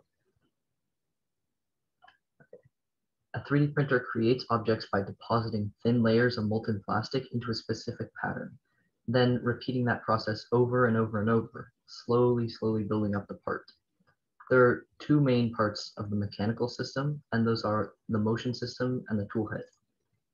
So the motion system is a mechanism that can move the toolhead to any point in the build volume. And the build volume is just where you can print and how much space you can use to create new to create objects. The motion system's job is to make sure that the part that melts and deposits the plastic does so at exactly the right place and time. There are many ways to do this, but the most common is just three independent linear axes that control one of the three uh, dimensions in space. All right, so the additive tool head is comprised of the extruder and the hot end. The plastic enters the tool head in a long string called filament, and you just buy it from the store that way. But uh, and the extruder is just a motor that pushes this filament through the hot end, which you're seeing right now, uh, at the right rate. But the hot end is where it all gets interesting because the filament stays cool until it gets to the thin section of the heat break, which you can see in the diagram. And at that point, the temperature of the filament increases from room temperature to around 200 to 300 degrees Celsius, depending on what material you're printing in just over two millimeters. This sharp temperature gradient is super important to prevent jams where the filament gets too soft too early and sticks to the side of the walls, uh, sticks to the side of the hot end. The benefit of jams is that they're delicious with bread, but I digress. At the bottom of the hot area, there's the nozzle, which funnels all the molten plastic through a tiny opening, which is normally around 0.4 millimeters. The motion system ensures that when the plastic leaves this tiny nozzle, it immediately gets squished onto the part in the right place, which helps build up the nozzle. Now let's talk about the extruders. So the extruder's job is to push the filament super precisely through the hot end. And it needs to be precise because with the tiny opening in the nozzle, any imperfection will show up as large blobs on the print. So it grabs the filament using gears and a motor, which is pretty simple, and it just bites into the filament and pushes it. And there's two main types of extruders. The first is the direct, is direct drive, and the second is Bowden. So they're very similar in that they both grab the filament with a gear and push it to the hot end. But a Bowden system pushes the filament through a tube, and then the tube is connected to the hot end. And normally this means that the extruder can be placed somewhere on the frame where it doesn't have to move. And this is super important because it reduces the moving mass of the print head, which allows you to move faster and have less slop in your motion system. You can think of this like if you had a heavy motor on the end of your linear slides, when the robot moves, it's going to be very floppy. But if you move the motor off the slides and just onto the drivetrain, you can have a lot more precise movement, even if the stiffness of the slides hasn't changed. On a direct drive uh, extruder, it's pretty much the opposite. You put the motor super close to the hot end, so you don't have to use this tube. And this initially might seem bad, but it's pretty good because it minimizes imprecision because when you push filament through a tube, there has to be some slack in order to minimize friction. So by removing this tube, you minimize all the slop that comes with that uh, clearance. And this is important for the precision that we discussed earlier. On the software side, there's three main steps to printing a model. First, you have to create the model using CAD. Other speakers, I believe, will go into this with much more detail, but the idea is that you create a 3D model of the object you want to make. And in this case, I've shown an HTD 5 millimeter belt pulley. And once you've created it, you export it from your CAD program as a mesh, which is just a bunch of triangles that define the surface of the model. All you need to know about meshes is that they're terrible, like completely awful to work with in CAD, but they are a valid type file type to describe a 3D model, and that's what the slicer likes.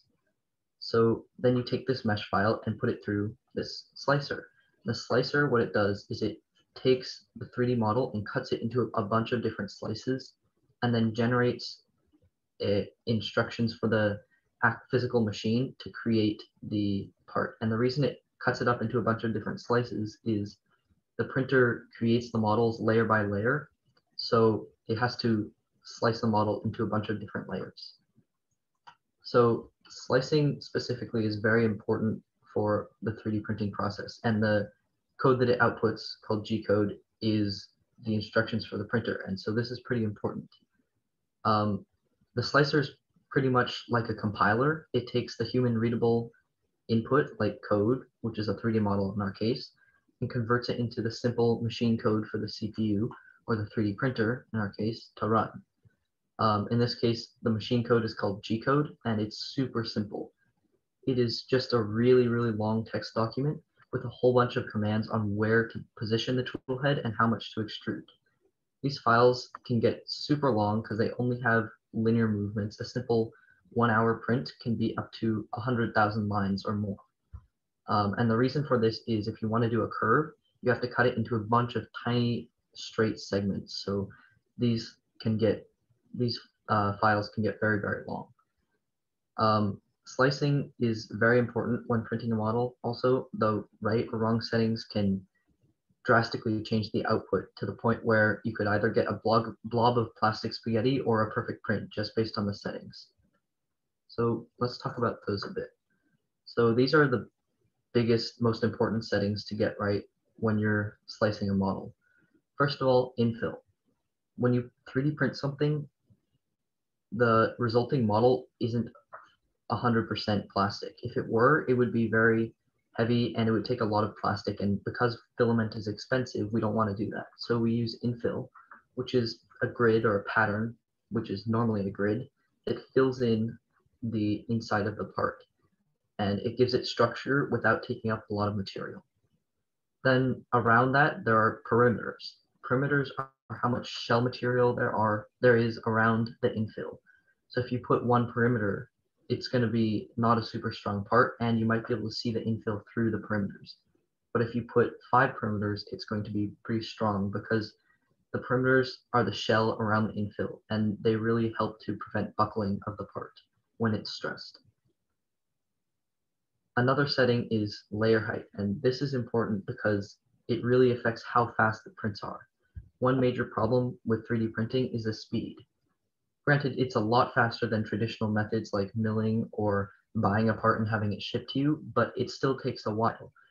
The belt pulley that we discussed earlier on the thickest layer height I could set it to took around half an hour to make. So the layer height is how thick each of the layers are that build up the part is. And the thinner it is, the higher resolution you'll get, but the thicker it is, the faster the print will go. So it's a big trade-off here. Then material is simple. What plastic are you using? Personally, for our team, we've never used anything other than PLA because PLA, which is the standard cheap stuff that you can get for about $20 a kilogram, it, it works. It's strong enough. It's easy to print. You know, there's no reason really in FTC to go beyond that because materials can get ridiculously expensive if you look into them and it's just at least for FTC and the stresses in FTC it's not it hasn't been worth it for us. Now, one more important thing is support material. So you can't just print something in midair, right? That'd be really cool, but no, you can't. So support material, it, material is extra stuff that you put underneath your part uh, so that you can print large overhangs or anything that might be in midair if you didn't have the support. And then after you uh, finish, after the part is finished printing, you have to take off the support material. So one important thing when designing for 3D printing is that you want to minimize the amount of support material needed because it's waste material, which is bad for your wallet because filament is expensive and bad for the environment because, you know, plastic is bad to throw away, and also it's a it's a pain to take off your part. So yeah, if you want to keep your thumbs, minimize the support support material. And then these last few settings are I'll just go through them really quick. They're less important. Line width is how thick you want the line to be that you're laying down. So it's kind of like perimeters, but for everything. It's just the thickness of the lines. Um, cooling, you need to cool a plastic after it comes out of the hot zone for it to solidify because if your plastic is still molten, when you're trying to put the next layer on top of it, it's going to be really hard and it's all going to collapse. And then brim is just a extra material that you put around the base to make it stick down to the bed better. And sticking to the bed is one big problem in 3D printing. It's kind of hard to get when you're starting out. And adhesion is very important because if your part starts moving around on the print bed, I mean, it's going to be very hard to create a functional part. All right, so those are some main slicing settings. They're pretty important. If you want to really learn learn about printing, you might want to go through more settings, but pretty much this is all you'll need to start. Now let's look through 3D printing specifically for FTC. So 3D printing has a lot of benefits for FTC teams. It allows the creation of super complex and accurate parts without having to wait for shipping or paying for expensive manufacturing services. Additionally, 3D printing forces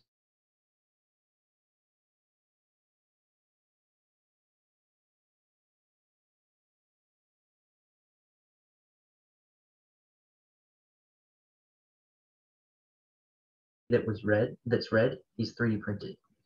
You can see that without 3D printing, we would have no way to make the rollers that hold the polycord bands in the intake, or no way to create a stable camera mount that conforms to the shape of the camera. Additionally, we print all our belt pulleys instead of buying them. This allows us to rapidly experiment with many different belt ratios. 3D printers have also become so much cheaper in recent, recent years that it's affordable to buy one and all the benefits that you can see with incre- increased uh, or decreased cycle time when iterating your designs and all these other things. These are very important and great benefits of 3D printing. So let's talk more about CAD quickly. I know other speakers will talk about this. Um, I think the next person is going to talk about CADing your robot, but quickly, it's just making a 3D model before you go build things. And this is useful because you can conceptualize your design and make your design quickly without having to physically make it. And this really increases how fast you can iterate your designs and kind of look look at them because once you can see your design it's really helpful and also once you can CAD things you can 3D print them and that is incredibly powerful um, another benefit of CAD is that you can get fancy renders. Who doesn't like those? Especially judges. I'm pretty sure they like those a lot. Um, yeah, those are nice. All right, so let's look at some drawbacks of 3D printing. The only problems with 3D printing and the CAD that comes with it are the cost, the learning curve, and the strength of the prints. So 3D printers have gotten a lot cheaper recently, but they're still around $200 plus 20 kilograms or $20 per kilogram of filament. If your budget is tight, this could be a problem. There's also the additional cost of the time needed to learn how to use the printer and how to use CAD. Hopefully this presentation and workshop in general can help with that, but it's still going to be a problem and you're going to have to put in some time if you want to learn CAD or, or 3D printing. The biggest problem with prints is the strength. 3D print, prints are plastic. You can't get we as in Curiosity Robotics have never had any major problems with this. You just need to know the limitations of the material and the process. So an example of this would be like if you wanted to create a part and you could either cut it out of aluminum or 3D print it, the 3D printed part is going to have to be a lot bigger. It might be lighter, it might be faster to make, but it's still going to have to be bigger to compensate for the lack of strength in the plastic.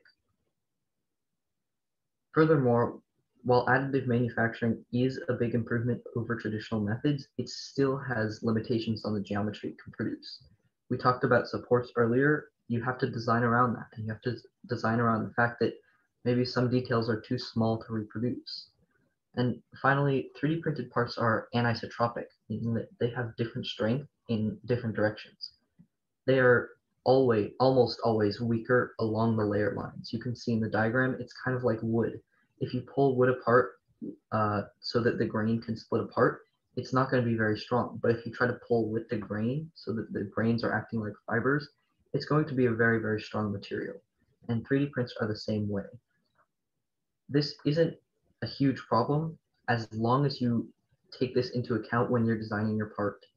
For example, if you took a long vertical let's say you were printing a long cylinder and you, or sorry, a long rectangular prism and you printed it upright, so it was super tall. If you tried to bend it, it would break a lot easier than if you had printed it horizontally because of the direction of the layer lines. Other than these problems, however, 3D printing is incredibly versatile and super helpful in FTC. So yeah, I would encourage everyone to at least try it. It's going to take a lot of learning and it is something to learn, you know, so it'll take that time. But other than that, it's super helpful. And yeah, that's it. So I'm just gonna say thanks for listening. And if anyone has any questions, either technical or overall, I'd be happy to answer them.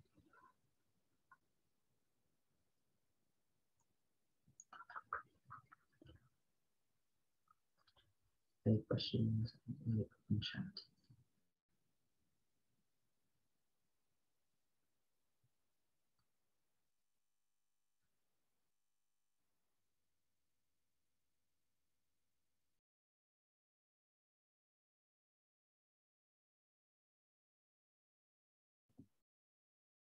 Um,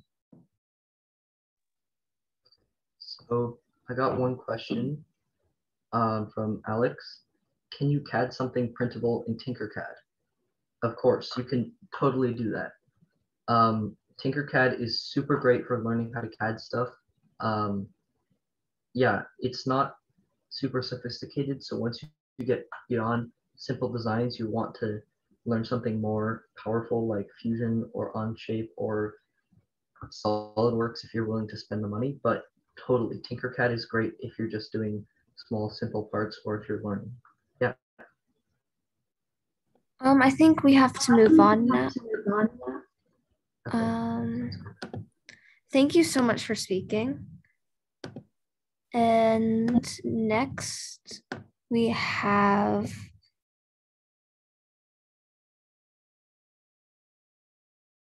um, team 18092. Um, Twin Turbo from Frisco, Texas is here today to present how CAD and Fusion 360 helped their team get invited to the Texas Cup. Okay, so give me one second. Let me pull it up.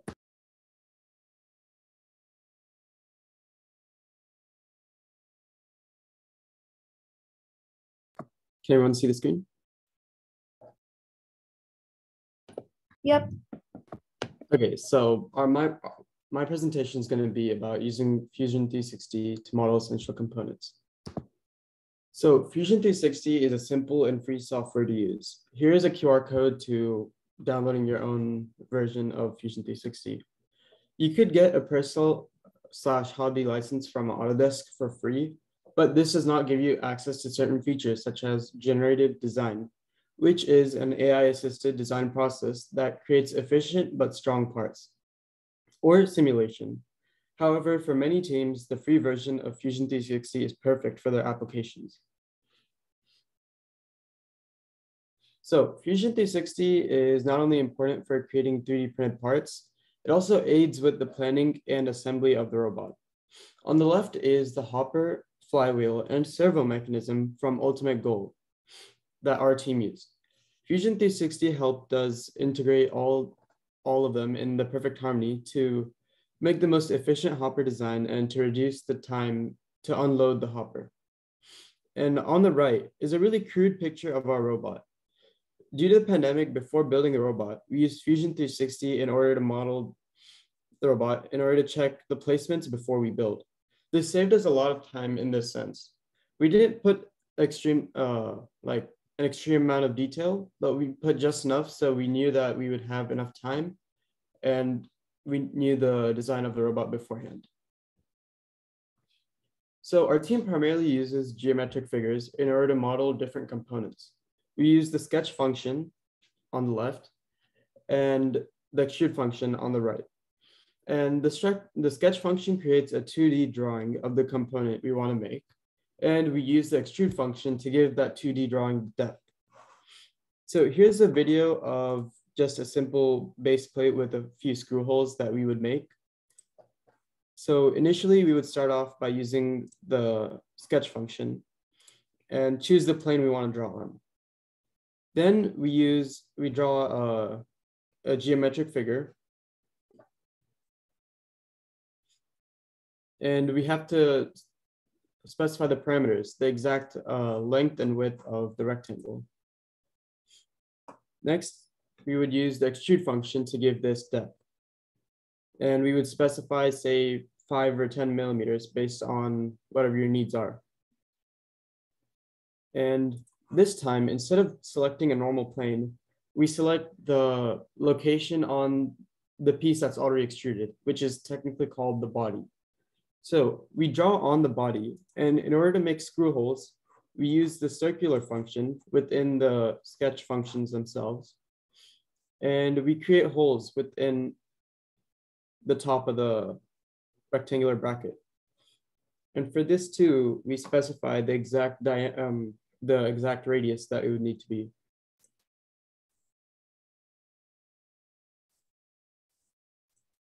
Next, the peculiarity of the extrude function is you can also negative extrude.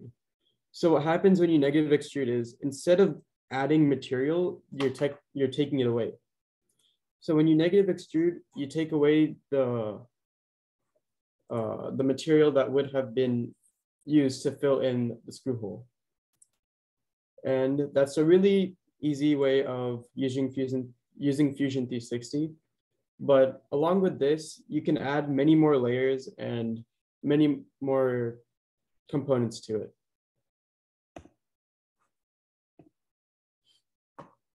So this is just a brief overview of how to create a simple component. However, one can create intricate and complicated designs by layering multiple extrudes and geometric figures on different planes of view.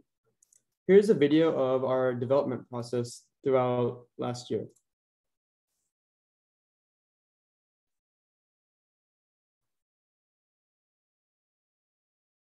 So there were like many there were many many steps that we had to do in our in order to come up with the final result. And this included first we we started off with the base plate at the bottom of the hopper. Then we built on from there.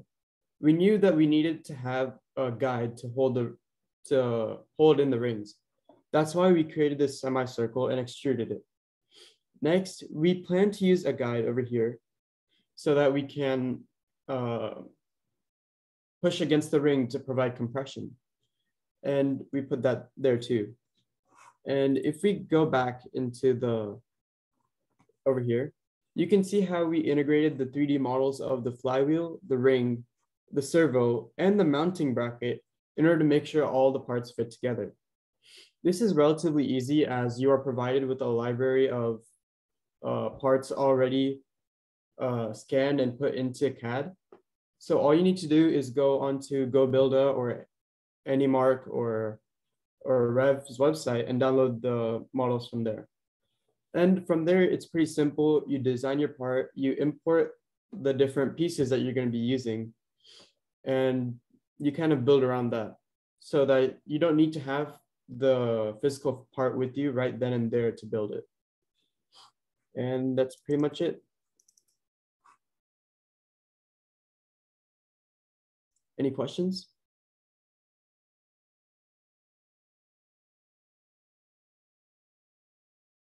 Okay, so Fusion 360 is relatively light. You don't need uh, extremely heavy or a gaming computer or anything like that. Majority of it is done in the cloud. So all you need is a computer with a decent amount of RAM, say like eight or 16 gigs, and maybe a processor that can carry out normal functions. Anyone else?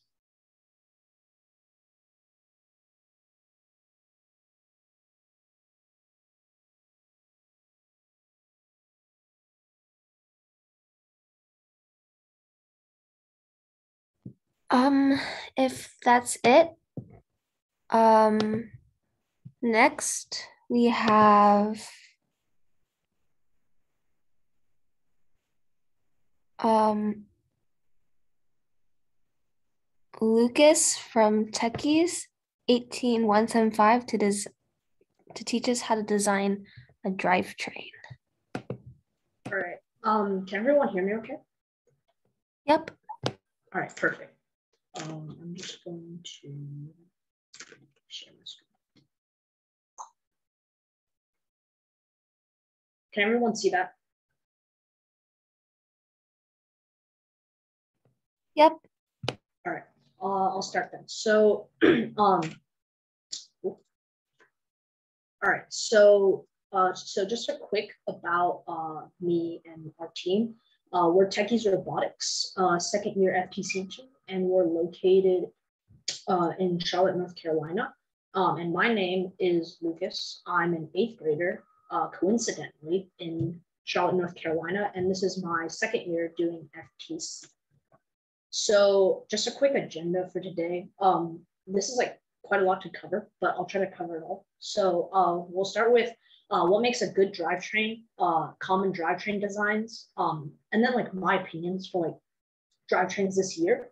Um, and then we'll go into some stuff about CAD, like why it's useful, uh, use cases for FTC and FTC CAD software. And then um, we'll look at like uh, specific FTC CAD software design workflows, um, some clarification on some uh, like certain parts, um, specific part part workflows, helpful tips, and helpful resources. Uh, so let's get started.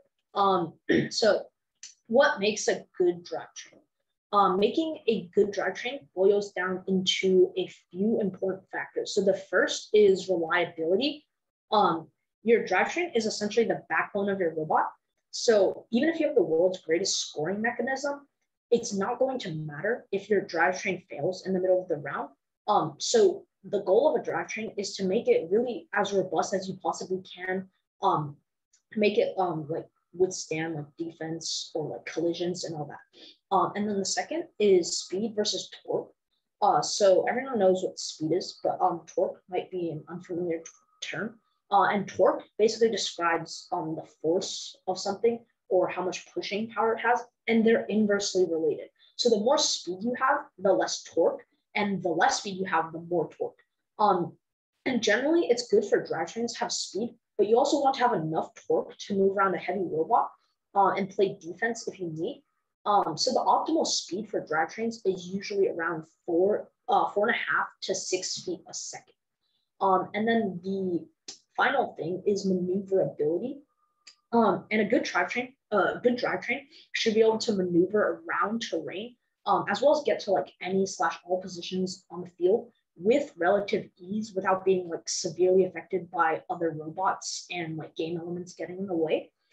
Um, so what drivetrain should you choose? Um, there are like a lot of drivetrain designs out there, um, but there's only two that are most commonly used. Um, and these are like the most versatile, um, and they're really honestly a good pick for like any uh, game. But that's not to say you can't do other designs. Um, I would just recommend sticking with these two if you don't like have a specific like thing you want in your draft frame. So the first is Mecanum. Um, I know a lot of uh, other speakers have talked about it, um, and it's the most drivetrain, uh, most popular drivetrain choice by far uh, in the community. Um, and it's really loved because it has excellent mobility and agility because its Mecanum wheels uh, have like these rollers um, on the wheels. They're like their own like separate wheels, if you will. Um, and they're angled at 45 degrees, which allows it to strafe um, like left and right, in addition to also going forward and backwards. So a few pros of Mecanum, um, it has good acceleration, it has strafing capabilities, and it can be custom kit built. Uh, what I mean by custom is like your uh, you manufacture your own parts, and then kit built would just be like buying kit from like goBILDA and assembling it. Um, however, some cons is that uh, Mecanums can be pretty susceptible to defense, especially if it's a, a six-wheel drive, which I'll get into next. Um, good Mecanum rollers can be quite costly.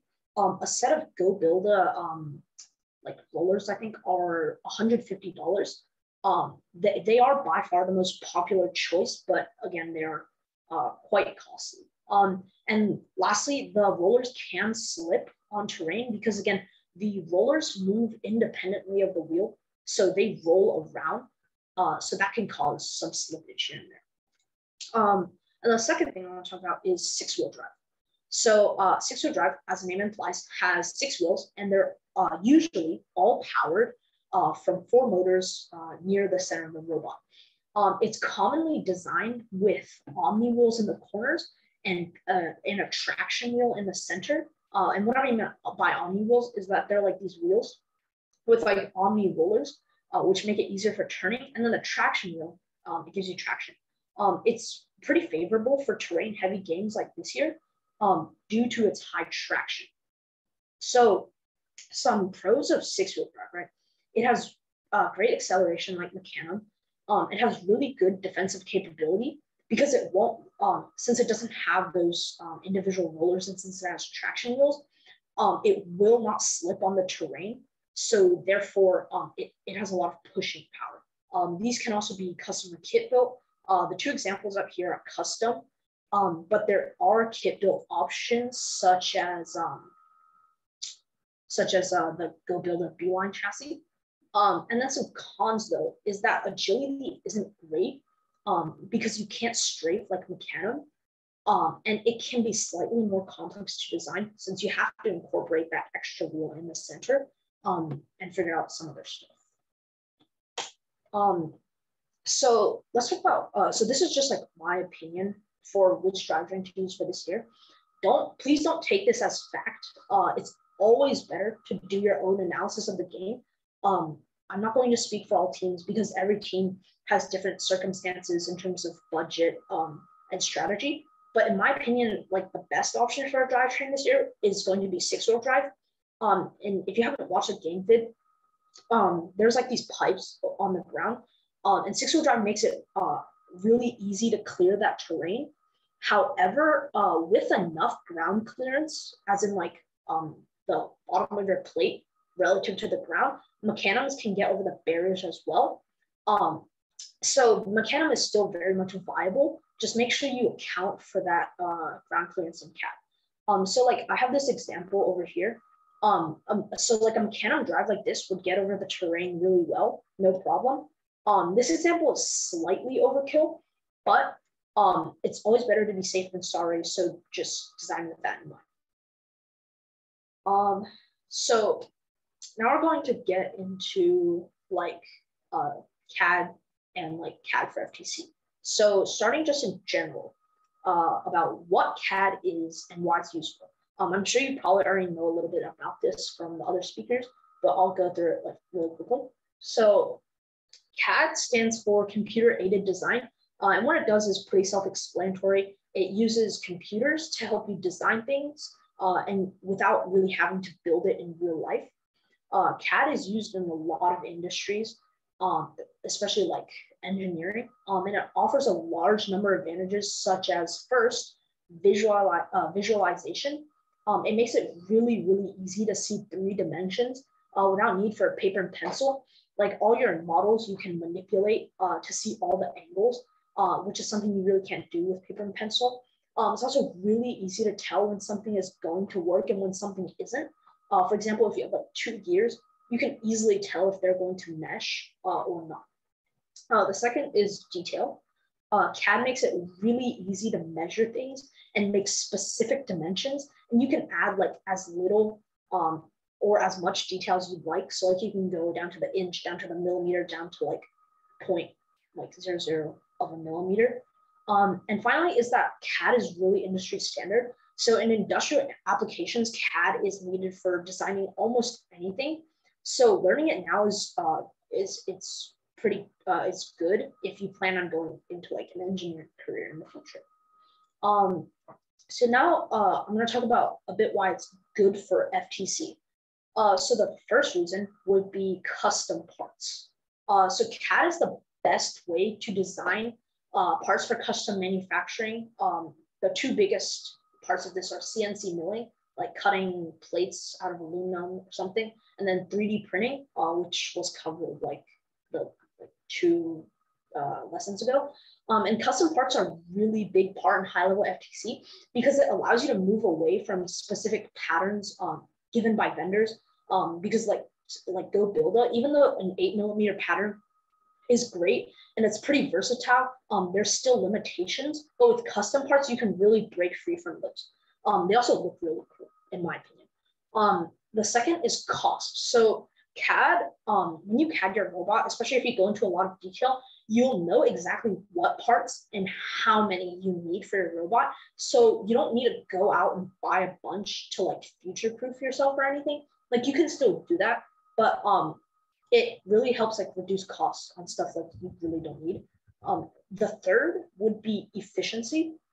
Again, like I said, it makes visualization really easy and you can tell if like a design or mechanism will work or fail. And it helps avoid many of the oversights that result in free building. Um, because when you're free building something, like if you realize you, you're missing a part or missing a gear, especially if you're, if you're a rookie team that doesn't have access to a lot of parts, you realize, oh, I can't power this anymore because I'm missing like that specific gear.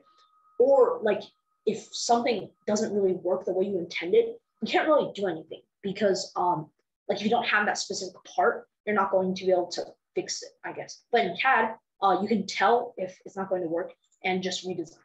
Um, and third, uh, or actually fourth, is versatility. Um, CAD allows you to create a better uh, and more robust mechanisms than free building ever will, um, if you're good at CAD.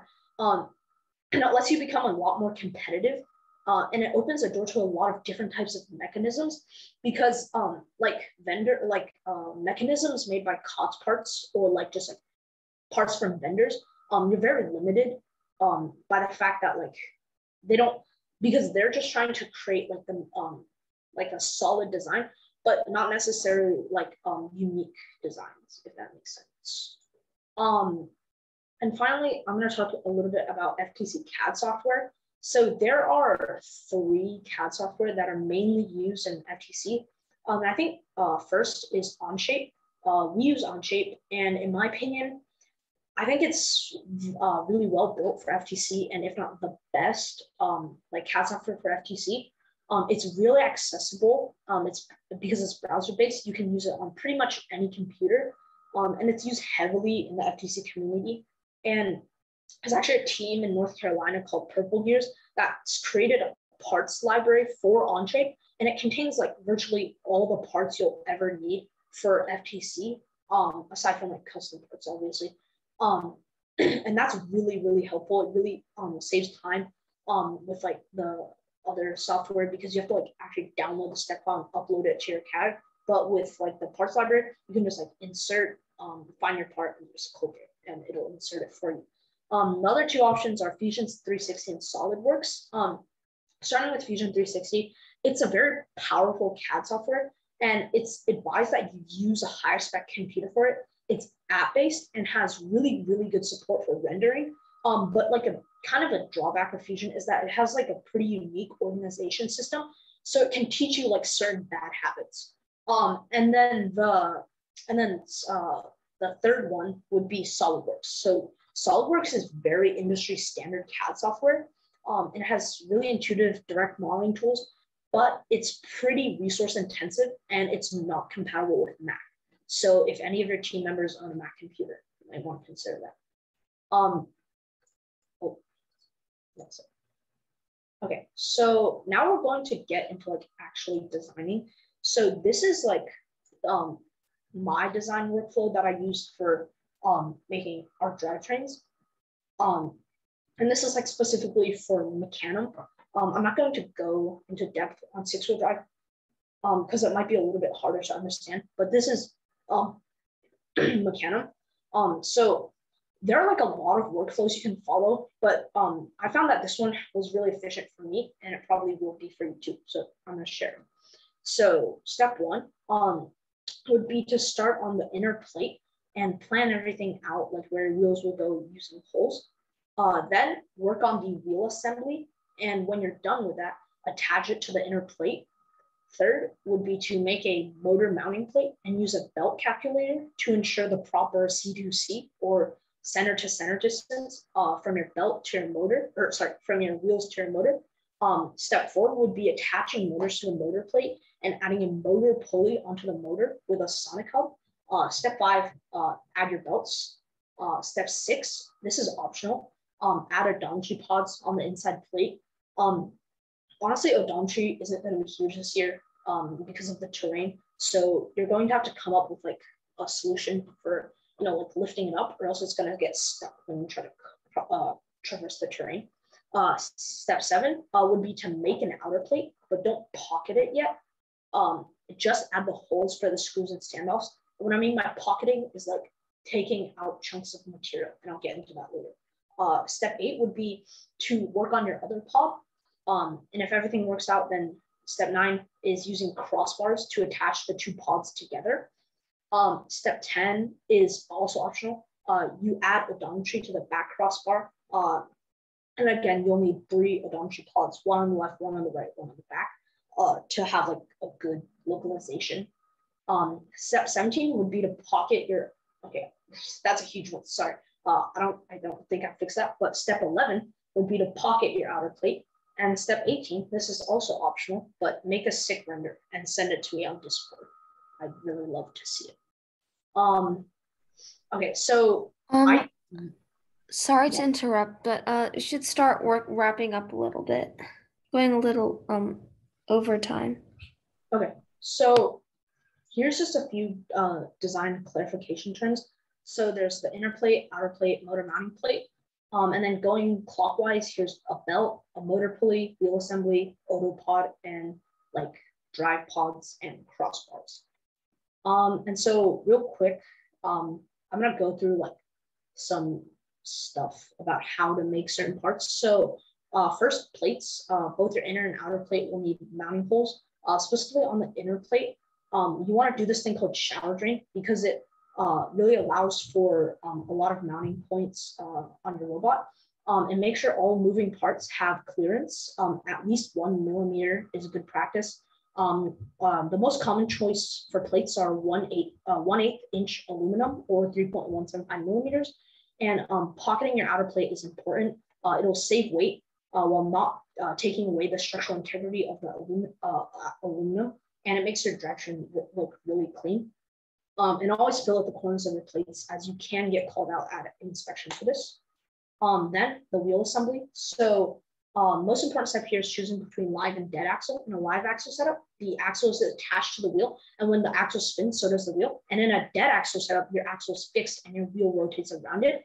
Uh, so you'll need both a wheel pulley and a wheel spacer um, to like fit the length of your pod. Um, I did 54 millimeters and then added two one millimeter shims on each side. Um, then the motor mounting plate, pretty self-explanatory. It's like a plate. Um, there's four, four to six standoffs that mount onto your inner plate, and then these holes that mount the motors. Um, and then so uh, I'm wrapping up here. So uh, so here are just some design tips. Uh, there are good and bad ways of CAD. Um, so here's just some tips to make sure you CAD like the good way. Um, always, always, always work in sub-assemblies when you can, because this can speed up assembling things so much and it reduces lag. Um, use one vendor websites such as goBILDA to check for measurements on parts. Don't just like blind guess at them because that's really inefficient. Um, plan out things before you CAD. Um, I really love like sketchbooks or notebooks because I can write way faster with a pencil than drawing something or sketching something in CAD. Um, and use fillets. They take care of sharp corners and they most of the time make things look better. Um, and this is the last slide. So helpful resources. Um, CADing can be hard. Um, and I know that. So please, please, please use any uh, like any slash all these resources. Uh, you have my Discord. Uh, it's stims hashtag uh, 9489. There's also the big FTC Discord. I would really, really, really recommend writing this down and joining it. Like, please, I literally recommend every every like FTC person here to join this. It's super helpful. Like the people there are like just really great. Um, there's Game Manual Zero, which goes over a lot of essential concepts um, and mechanisms for FTC. Um, and this is our website, kind of a shameless plug. Like, if you want to check us out, um, head over there. Um, and yeah, that's basically it.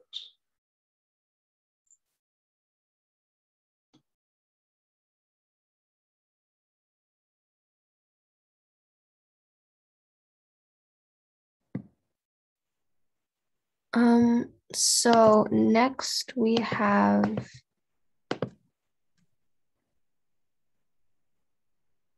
outreach, um, creating and running robotic and STEM camps. Team Maximum Resistance will now be presenting in person and virtual STEM robotics camps.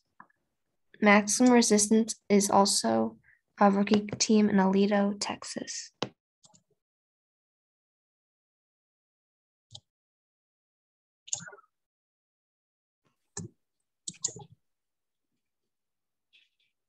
Hello.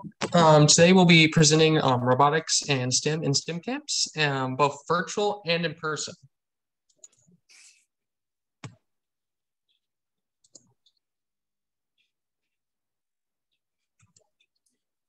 So STEM camps and just um, summer camps in general are really a great way to um, get your community involved and teach a, a larger audience about STEM.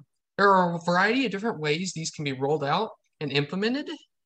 And camps, um, when we think of summer camps and just um, robotics and STEM camps in general, we need to think of them more than just outreach, as they're also an opportunity to meet new mentors that you can bring into to teach at these camps. They're a great way to um, fundraise as you could charge for these camps if they're in person or you're providing resources. They're um, a great way to look for future recruiting tools um, to find new members for your team.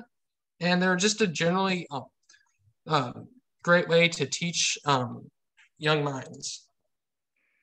So when you do hold a camp, you want to try to keep a main topic or area of focus uh, to keep people engaged and not like overdo yourself to, um, you know, going over too many things or making people confused about maybe what you're trying to talk about. So uh, try to focus on one thing. Like if you're going to talk about robotics, um, maybe concentrate on notebook or design or just engineering in general.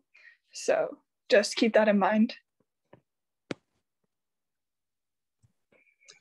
Materials. Materials are going to depend entirely on what you're hosting. Obviously, um, robotics um, materials are going to be completely different than something on ecology or biology. Try to get materials that can be used in multiple activities. Like certain examples of this could be like popsicle sticks. You could use them um, if you're doing physics camp or something. You could use them both to create like a catapult as well as a bridge. Therefore, you can save on costs and also have um, a variety of different materials for them to be used. Make sure to buy them um, and know how much you need ahead of time. Um, if you run out of materials uh, during the uh, camp, you can't always get more. You can't always get more, and that could end up being an issue um, and take cost into account. You, if it, um, if you can't necessarily afford um, all the materials you're going to need for the camp, you either want to um, scale back what you're going to be doing, or you may want to impose some sort of um, small fee for the people to attend the camp. So you'll also want to try to advertise as much as you can. Try to go through an organization. Uh, social media is a great tool, especially nowadays, since a lot of things are virtual um, to get people interested in your camp. Um, when you do post something, try to be clear on registration, costs, and goals that you're trying to do throughout the camp. Um, promote in any way that will interest your demographic. So have a clear goal of who you want to be in your camp.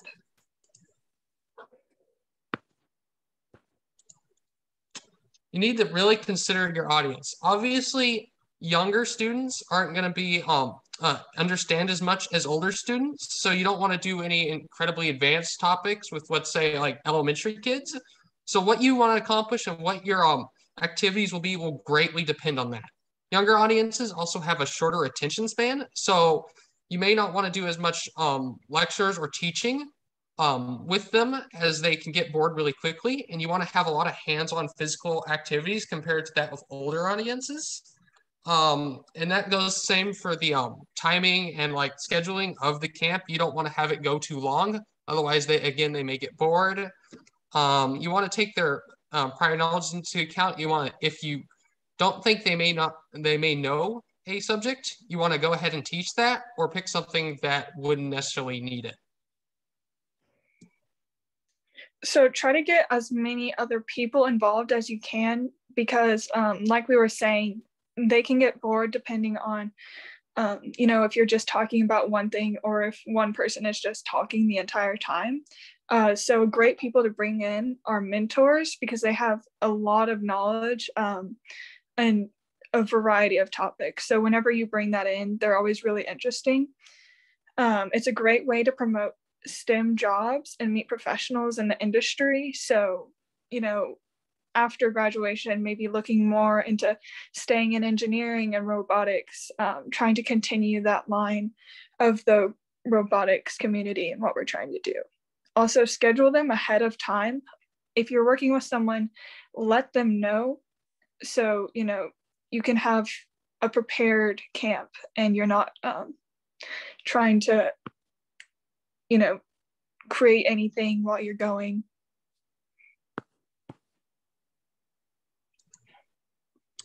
We'll first talk about in-person type events.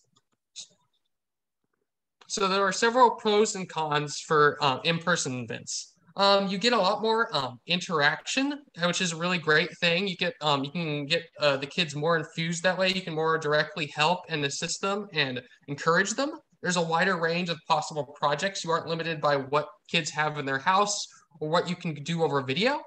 Um, there's a larger amount of physical resources, so you can't um, in a remote you can't necessarily send them all those resources or do something uh, with them, like especially like with robotics camps. You can't just give them a robot typically. Um, there is, of course, the con of having more resources needed. You're going to have to provide a certain amount of materials to um, each uh, child or attendee. Um, you're going to need a lot more physical volunteers, not just one or two people on a video chat. And you're going to actually need a place to set it up.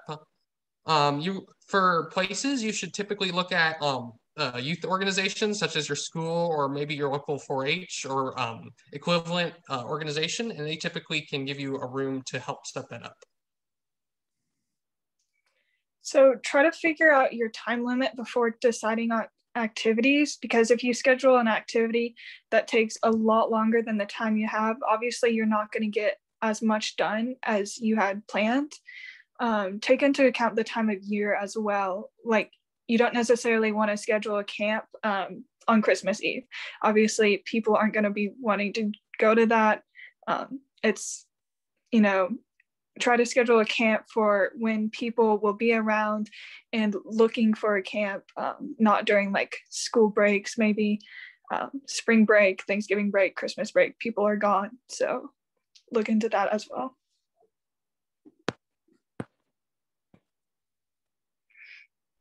activities. Use what you have to your advantage. If you already have a certain amount of materials, see how you can implement those into what and um, just activities that fit your theme.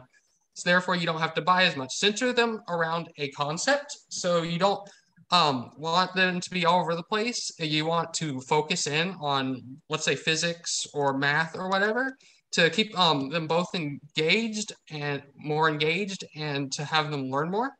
Um, you want to encourage complex thinking and teamwork.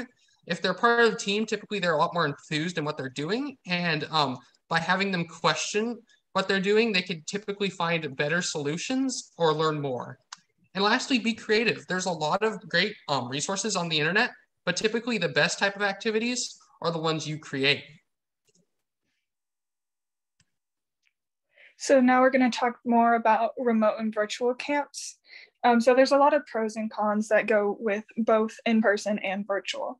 Some pros of a virtual is it's more flexible in scheduling since there's less travel. Um, you can reach a larger audience. Obviously, you don't have to travel hours to go to a virtual camp. Um, and it can be done regardless of any circumstances. Uh, cons, it limits projects, resources, and creativity. Obviously, when you have hands-on activities, people are going to be a lot more interested. You're usually going to learn more. Um, so keep that in mind when you're scheduling a virtual and try to keep people interested despite there being less hands-on activities. Um, like I said, it's more difficult to keep people interested. Um, you know, work with what you have. Be really creative when you're doing a virtual session. Uh, just keep that in mind know your limitations. Of course, um, with uh, with um, online um, screen sharing and um, video chats, you're going to have a, um, a limit on bandwidth and media, especially if you're catering to rural organization, uh, rural areas or whatever. Um, you're going to have lower video quality. You're not going to be able to share as much. So be prepared for that. Um, also be prepared, not just in material, which you're going to need to have lined up, but anything like any malfunctions with the system, you're gonna have to have a backup plan for that. No one wants to be in the middle of a camp and have a Windows update, for example. Um, you need to cater to a wide range of hardware. For example, if you want to do a CAD camp, you have to take into my, um, you have to take into mind that some people aren't going to have a computer necessarily capable of running that CAD. So instead of maybe like Autodesk Inventor, you could look at doing Tinkercad, which is much more accessible and available to all forms of hardware. And lastly, keep it simple. If you overcomplicate something on an online platform, it's going to be difficult to follow and you're not going to be able to um, help as much as your um, distance from them physically. so there's a couple different ways to approach um, finding materials for remote camps. Um, oftentimes, if you want to do something hands-on, um, try to find projects with things found at home. Um, people that people um, have in their home, like commonly, um, you know, toothpicks, pens, paper, stuff like that is going to be found really common in a home. So don't people aren't going to ha- be having like electric circuits at their home. So that might be more um, good for the kids um, because if kits you can send um, to people, um, but you really need to consider the price and how you're going to distribute the kits um, because often there can be complications with doing that, especially if you're working with people you don't know. Again, keep it simple. Um, if you overdo yourself, it's just not going to go as planned. Thank you, everyone. Um, do you guys have any questions?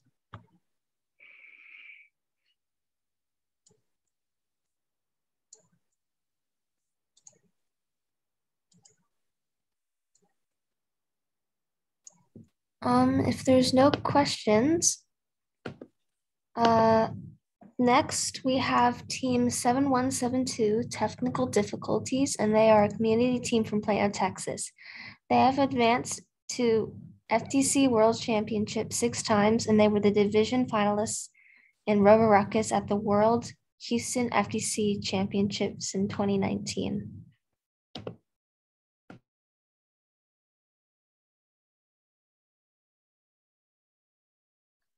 Okay, so good afternoon, good evening, everybody. Thanks for sticking around till the till the end of the track and uh, even a little bit late. I will try not to hold things too long.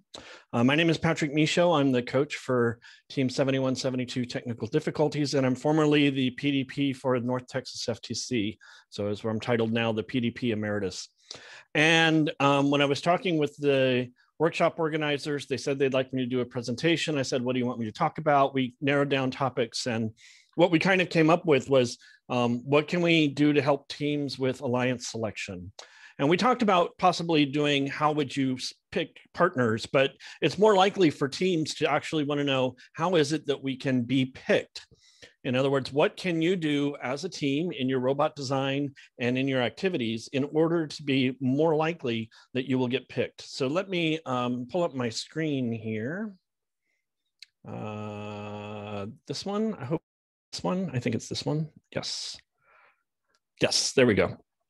Okay, so robot design for alliance selection. Uh, how do we get picked? What are you? What can you do to make it more likely for you to be picked as uh, a, as an alliance pick um, in the playoffs. Now, everybody would like to be a captain. It's always nice to be a captain, but a lot of things happen at FTC events, and that doesn't always happen. And speaking for my team, 7172, uh, we've um, had a lot of success in First Tech Challenge over many, many years.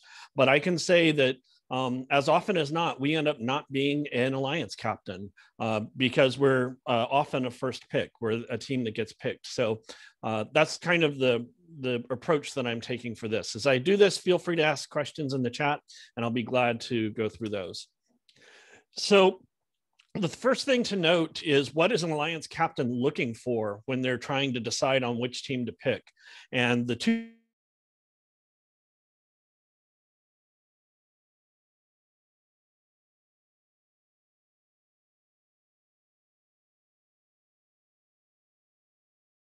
on a partner that can score well. But between these two, reliability is really the more important one. It is the thing that an alliance captain really wants to know that the partners, when they put them on the field, they're not going to have a robot failure. They're not going to have, you know, a, a, a bad match. They're going to be looking for is, is this particular robot going to perform um, reliably. And reliability is more important than scoring, even. So I would much rather, as a captain, have a reliable partner that I know is going to score me 200 points than a uh, another partner that could get as many as 300 points but in a bad match might get only 60 because once you get to the playoffs it's all about winning the match and scoring more than the other side. So reliability is far more important So how do we um, get to reliability and what do I recommend for teams in terms of getting to reliability? So the first one is to constantly question the design. And I know that in our early team years, our team members were focused more on, can we even get this to work? And um, what I started doing with the team and what we learned to do is instead of saying what uh, what can we do to just make this work, is to start asking ourselves what are the ways in which it won't work, right? What are the situations in which this could fail? If we have a chain, is there any way that the chain can slip off? If it's a bearing, is there some way that the bearing can slip out of its socket?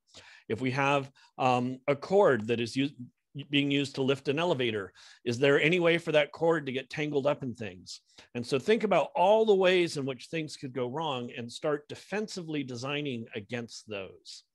Also for reliability, think about, um, look at the game and consider what penalties might come into play. What things might your robot do that would invoke, that would cause penalties in a match that would lower your score. Um, so you definitely want to avoid those.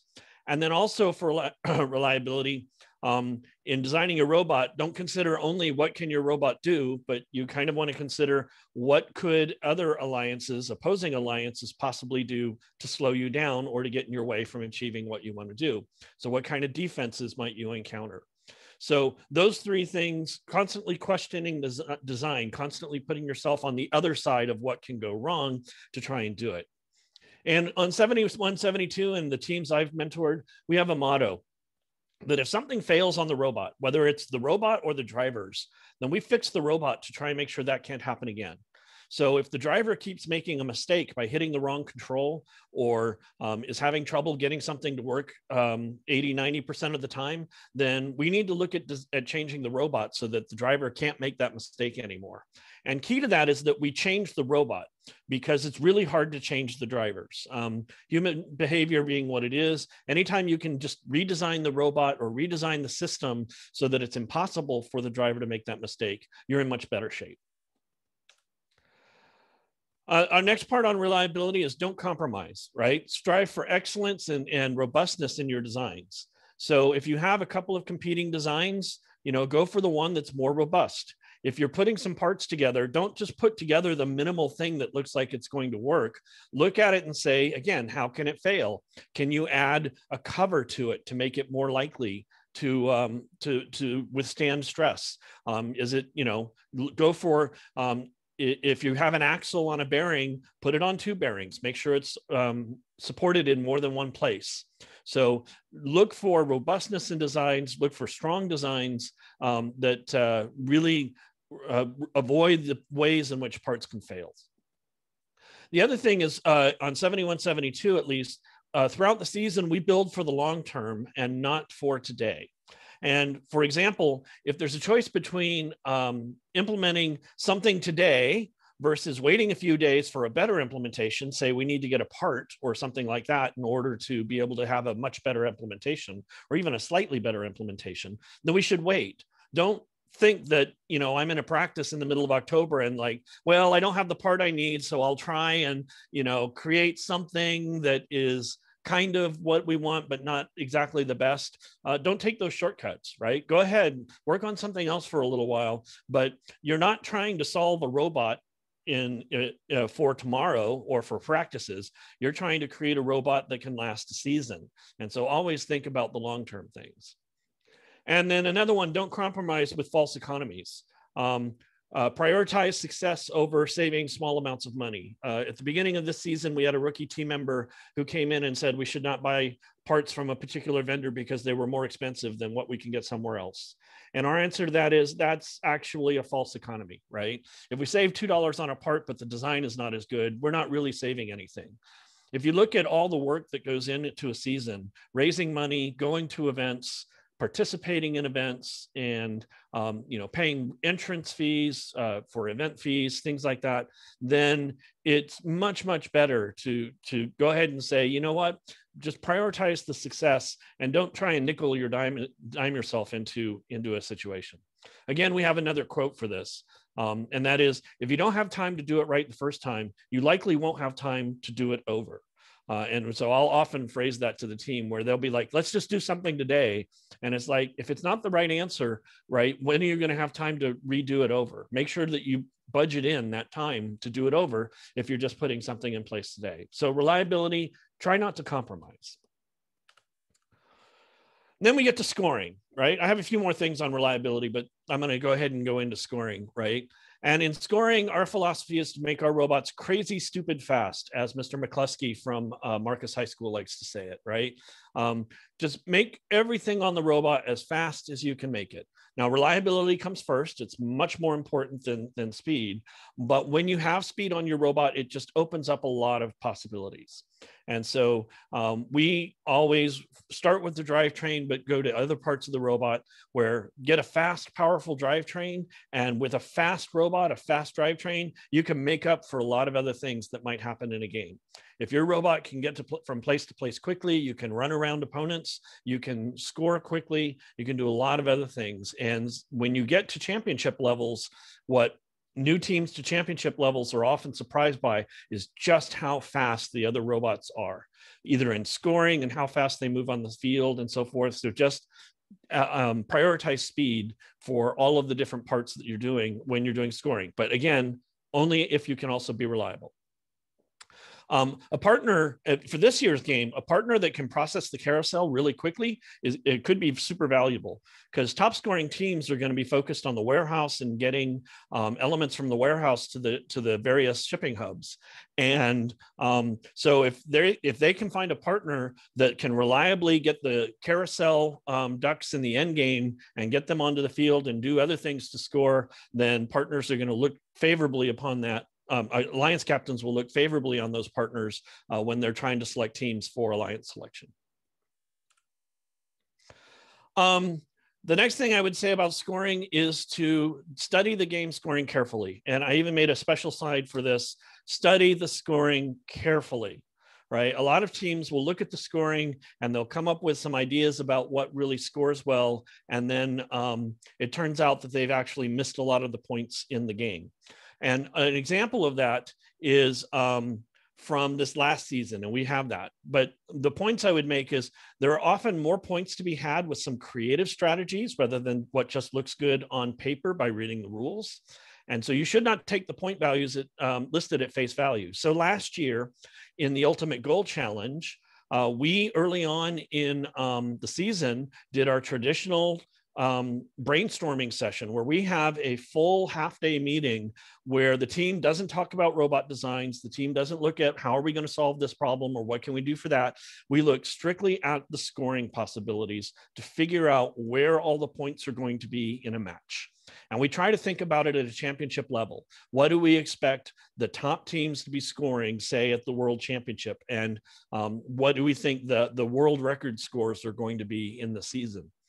And so last year, where a lot of teams focused on autonomous and endgame because the high there were high scoring point tasks in those what we realized is that all of the points for us was in teleop that our driver controlled period scoring as you can see from our high scoring match of last season um, was dominated by the things that we did in the teleoperated period and not by what could be done in autonomous or in the endgame and so you really want to study the strategy. You really want to study the scoring well. And I have an example I'm going to share from this year's game because I've seen a couple of um, presentations where people are talking about strategy. And I, I just want to give an example of how you can be surprised by looking at the scoring features.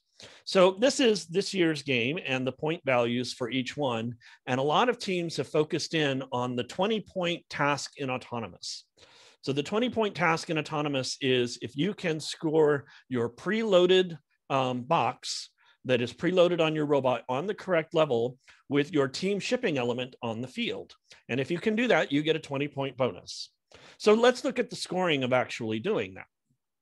All right, so in autonomous, if you are able to score your preloaded box on the correct level uh, when your team element, your, your team shipping element is on the field, you will receive six points for putting the freight on the hub. And you're going to get a 20 point bonus because you were able to correctly identify the correct level using your team shipping element. And then in, in teleop, you're going to get another two to six points for that box being on the hub.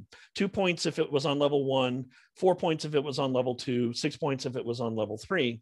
And so your total is going to be 28 to 32 points, right? And so a lot of teams are saying you should absolutely have your team shipping element on the field so you can get that 20 point bonus.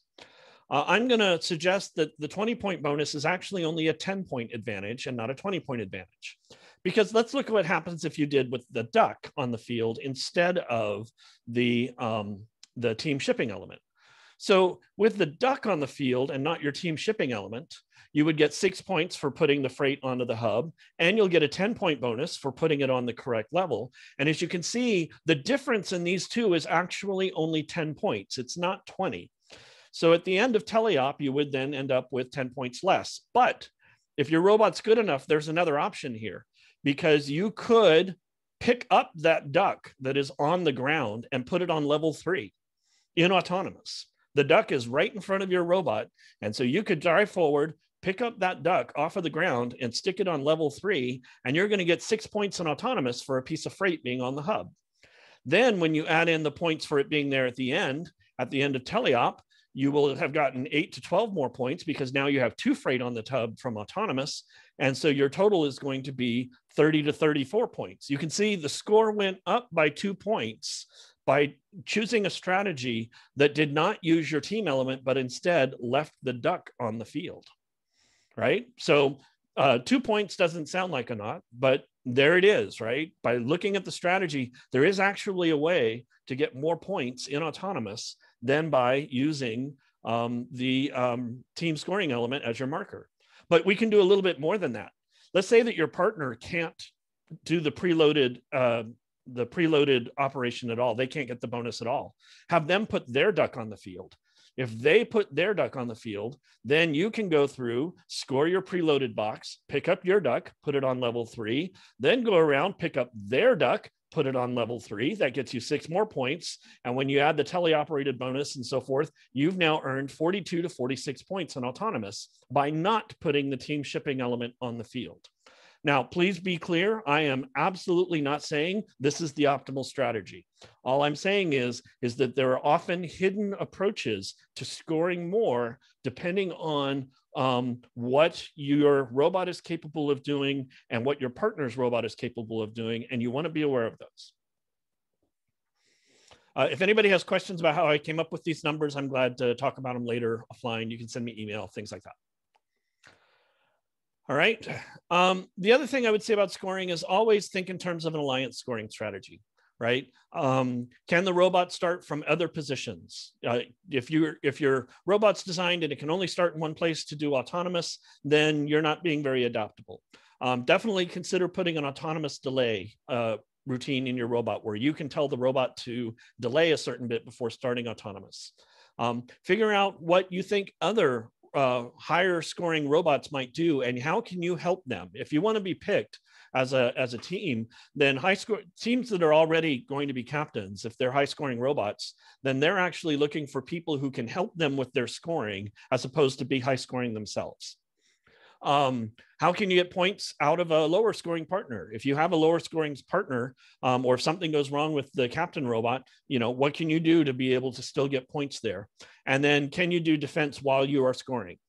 Um, in Rover Ruckus, our robot did extremely well at the World Championships because that robot was designed to score well, both as a primary robot uh, going from the crater that was closest to us, but also as a secondary uh, robot where it would have to collect things from the crater far away. It was able to simultaneously play defense while doing a lot of active scoring.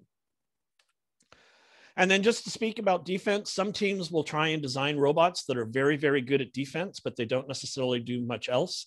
And I will say that from uh, our perspective, those robots aren't really high candidates for us to be uh, chosen as alliance partners. The defense would have to be amazingly astounding in order for us to do that, because you can often find robots that are able to do defensive things while they are able to score. So you want to make sure you preserve the ability to score and increase your score, even if you're interfering or um, otherwise interrupting what the opposing alliance is trying to do. Um, so we're uh, if we're presented with options and we have a robot that's reliable or a robot that can play defense really well, um, and both of them can do, you know, and the one that's reliable can score, we'll probably go for the scoring robot and not for the defensive one.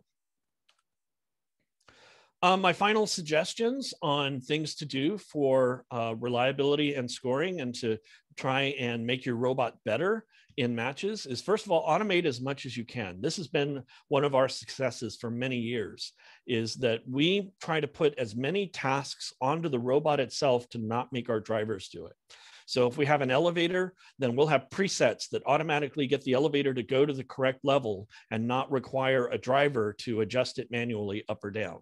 Um, if we're uh, loading blocks and having blocks move from place to place within the robot, we will manage all of that automatically, where once a block gets to a certain spot, then the, the mechanisms engage to get it to the next spot without the drivers having to do anything. Uh, doing this, robots can be uh, much faster than drivers in terms of getting things to work. The robots can be made more reliable and have greater precision, and it's less work for your drivers. And the less work the drivers have to do in operating the robot, the more they can look at match strategy and match dynamics to figure out where the best points are on the field. Uh, another suggestion is rapid iteration. Um, some teams will try and design a robot and they try to freeze the design. Um, but we have found in, in the top teams that we talk to that those teams are successful because they do rapid iteration. They're constantly evolving the robot and rapidly making changes and evolving over multiple designs to come up with the best design they can during the season. And it's it's good if you can get a good base design to begin with and then rapidly evolve it. Um, doing radical changes in the middle of the season can often slow you down. Uh, there's times when it makes sense to do that, but in general, our experience has been that improving the robot you have gets you better results than starting off with something from scratch. And then finally, experience. Um, experience on the field accounts for a lot. Um, driver driver practice a lot. And some teams they plan that their drivers are going to spend 20 or 20% of the overall time that the robot is being worked on is going to be for driver practice at least that. Um, and also get as much on-field experience as possible uh, nothing can take the place of actually being on a field with other robots and figuring out how you're going to drive around, how you're going to interact with those robots, if they're playing defense or not, um, to be able to score and be successful. So I highly recommend scrimmages.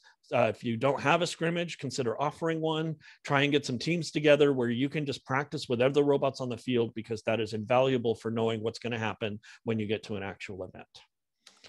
So, in summary, reliability, right? Reliability being the most important thing to look for that we would look for in choosing a partner, but also you want to look at scoring strategy. And that scoring strategy is not only what your robot can do, but what you can do when partnered with an alliance and experience. Um, it's really easy to pick out the experienced drivers and the and the experienced teams when you're at a tournament uh, by just seeing how they react to things that are happening on the field, and they just they just bubble to the top. So I think that's all I have for my presentation. So I will be happy to take questions if there are any. Uh, otherwise, uh, I believe I'm the last session in this track. I wanted to thank uh, 8565, FlySet, and all the other teams and presenters for an outstanding workshop today. It's been a lot of fun and I've really uh, enjoyed and learned a lot. Yep. Thank you for coming and talking. Um, we have two more uh, giveaways. Um, the first is um, the giveaway where it's just like our first giveaway. So, Andrew, do you want to share your screen and show that?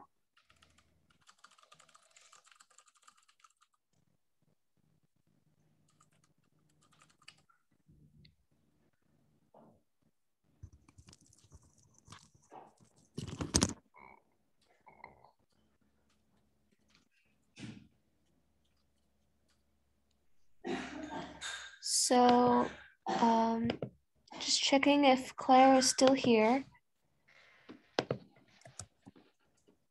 Oh yeah, she's not here anymore.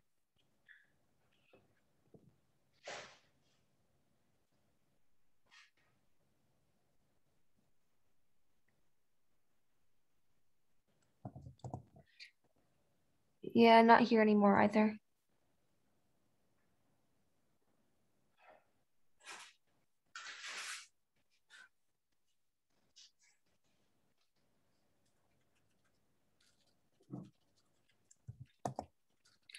Not here anymore. Oh, 8565? Oh, two? Well, I don't think the 8565 is here either. I'm a member of uh one one one four seven two, and that was one of the things that was drawn. Oh. Um, let me see what you want.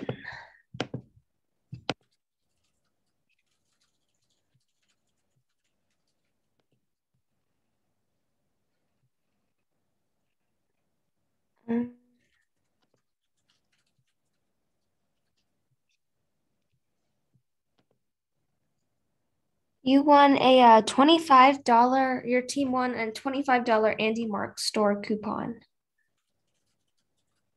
Um, I'm um, part of um, team uh, Maximum Resistance. Uh, did we win anything? Um, or no? Uh, let me see. Because, let's see the chat.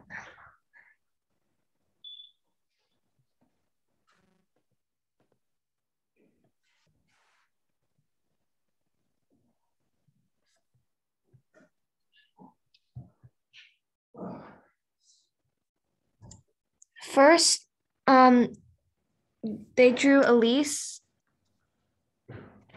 I don't know what FTC team she's in. And Uh, then not, Win- not ours. Winston, is he? No, And the other one was Lyndon. no. Okay, thank you. You're welcome. There's another one, but I'm pretty sure he already responded. Okay, so oh okay. Okay. So uh next is the uh spinning for whoever asked the questions.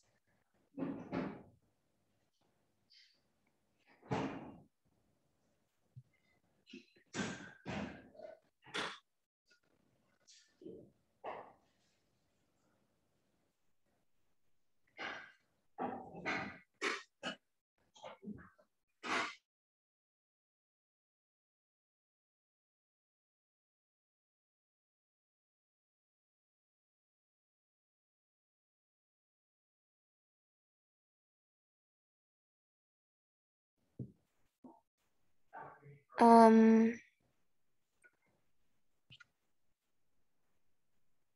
yeah, if if there's like a mistake and you asked a question, just say it.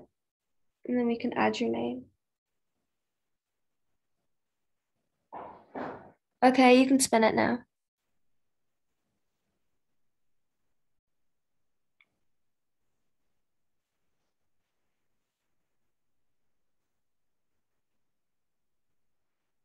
Yeah, the, the drawing is only for those who's who ask questions in this meeting.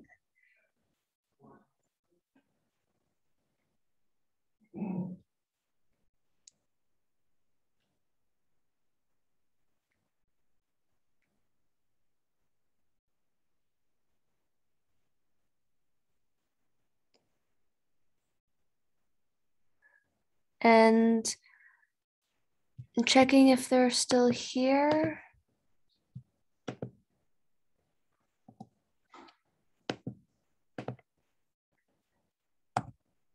They are. So um, I I'm sorry, I don't know how to pronounce your name, but um, you won a $25 Amazon gift card. And uh, please, uh, private, all the people who won stuff, please private mess message and uh, say your uh, team name, team number, and an email address that you want us to contact you and a contact phone number so we can give you what you won. Yeah, do, do, do it to Andrew. So, uh, thank you for uh, coming and I hope y'all have a, uh, a good rest of y'all's weekend. So, thanks so much. And if you want something, you can stay and you can like do your message stuff.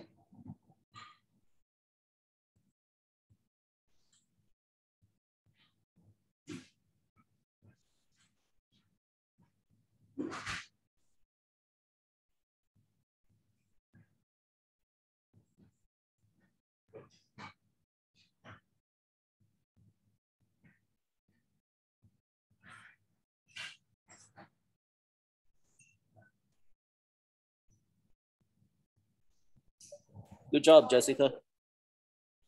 Thank you. Uh, same, same for Andrew. Okay, I didn't notice you were there.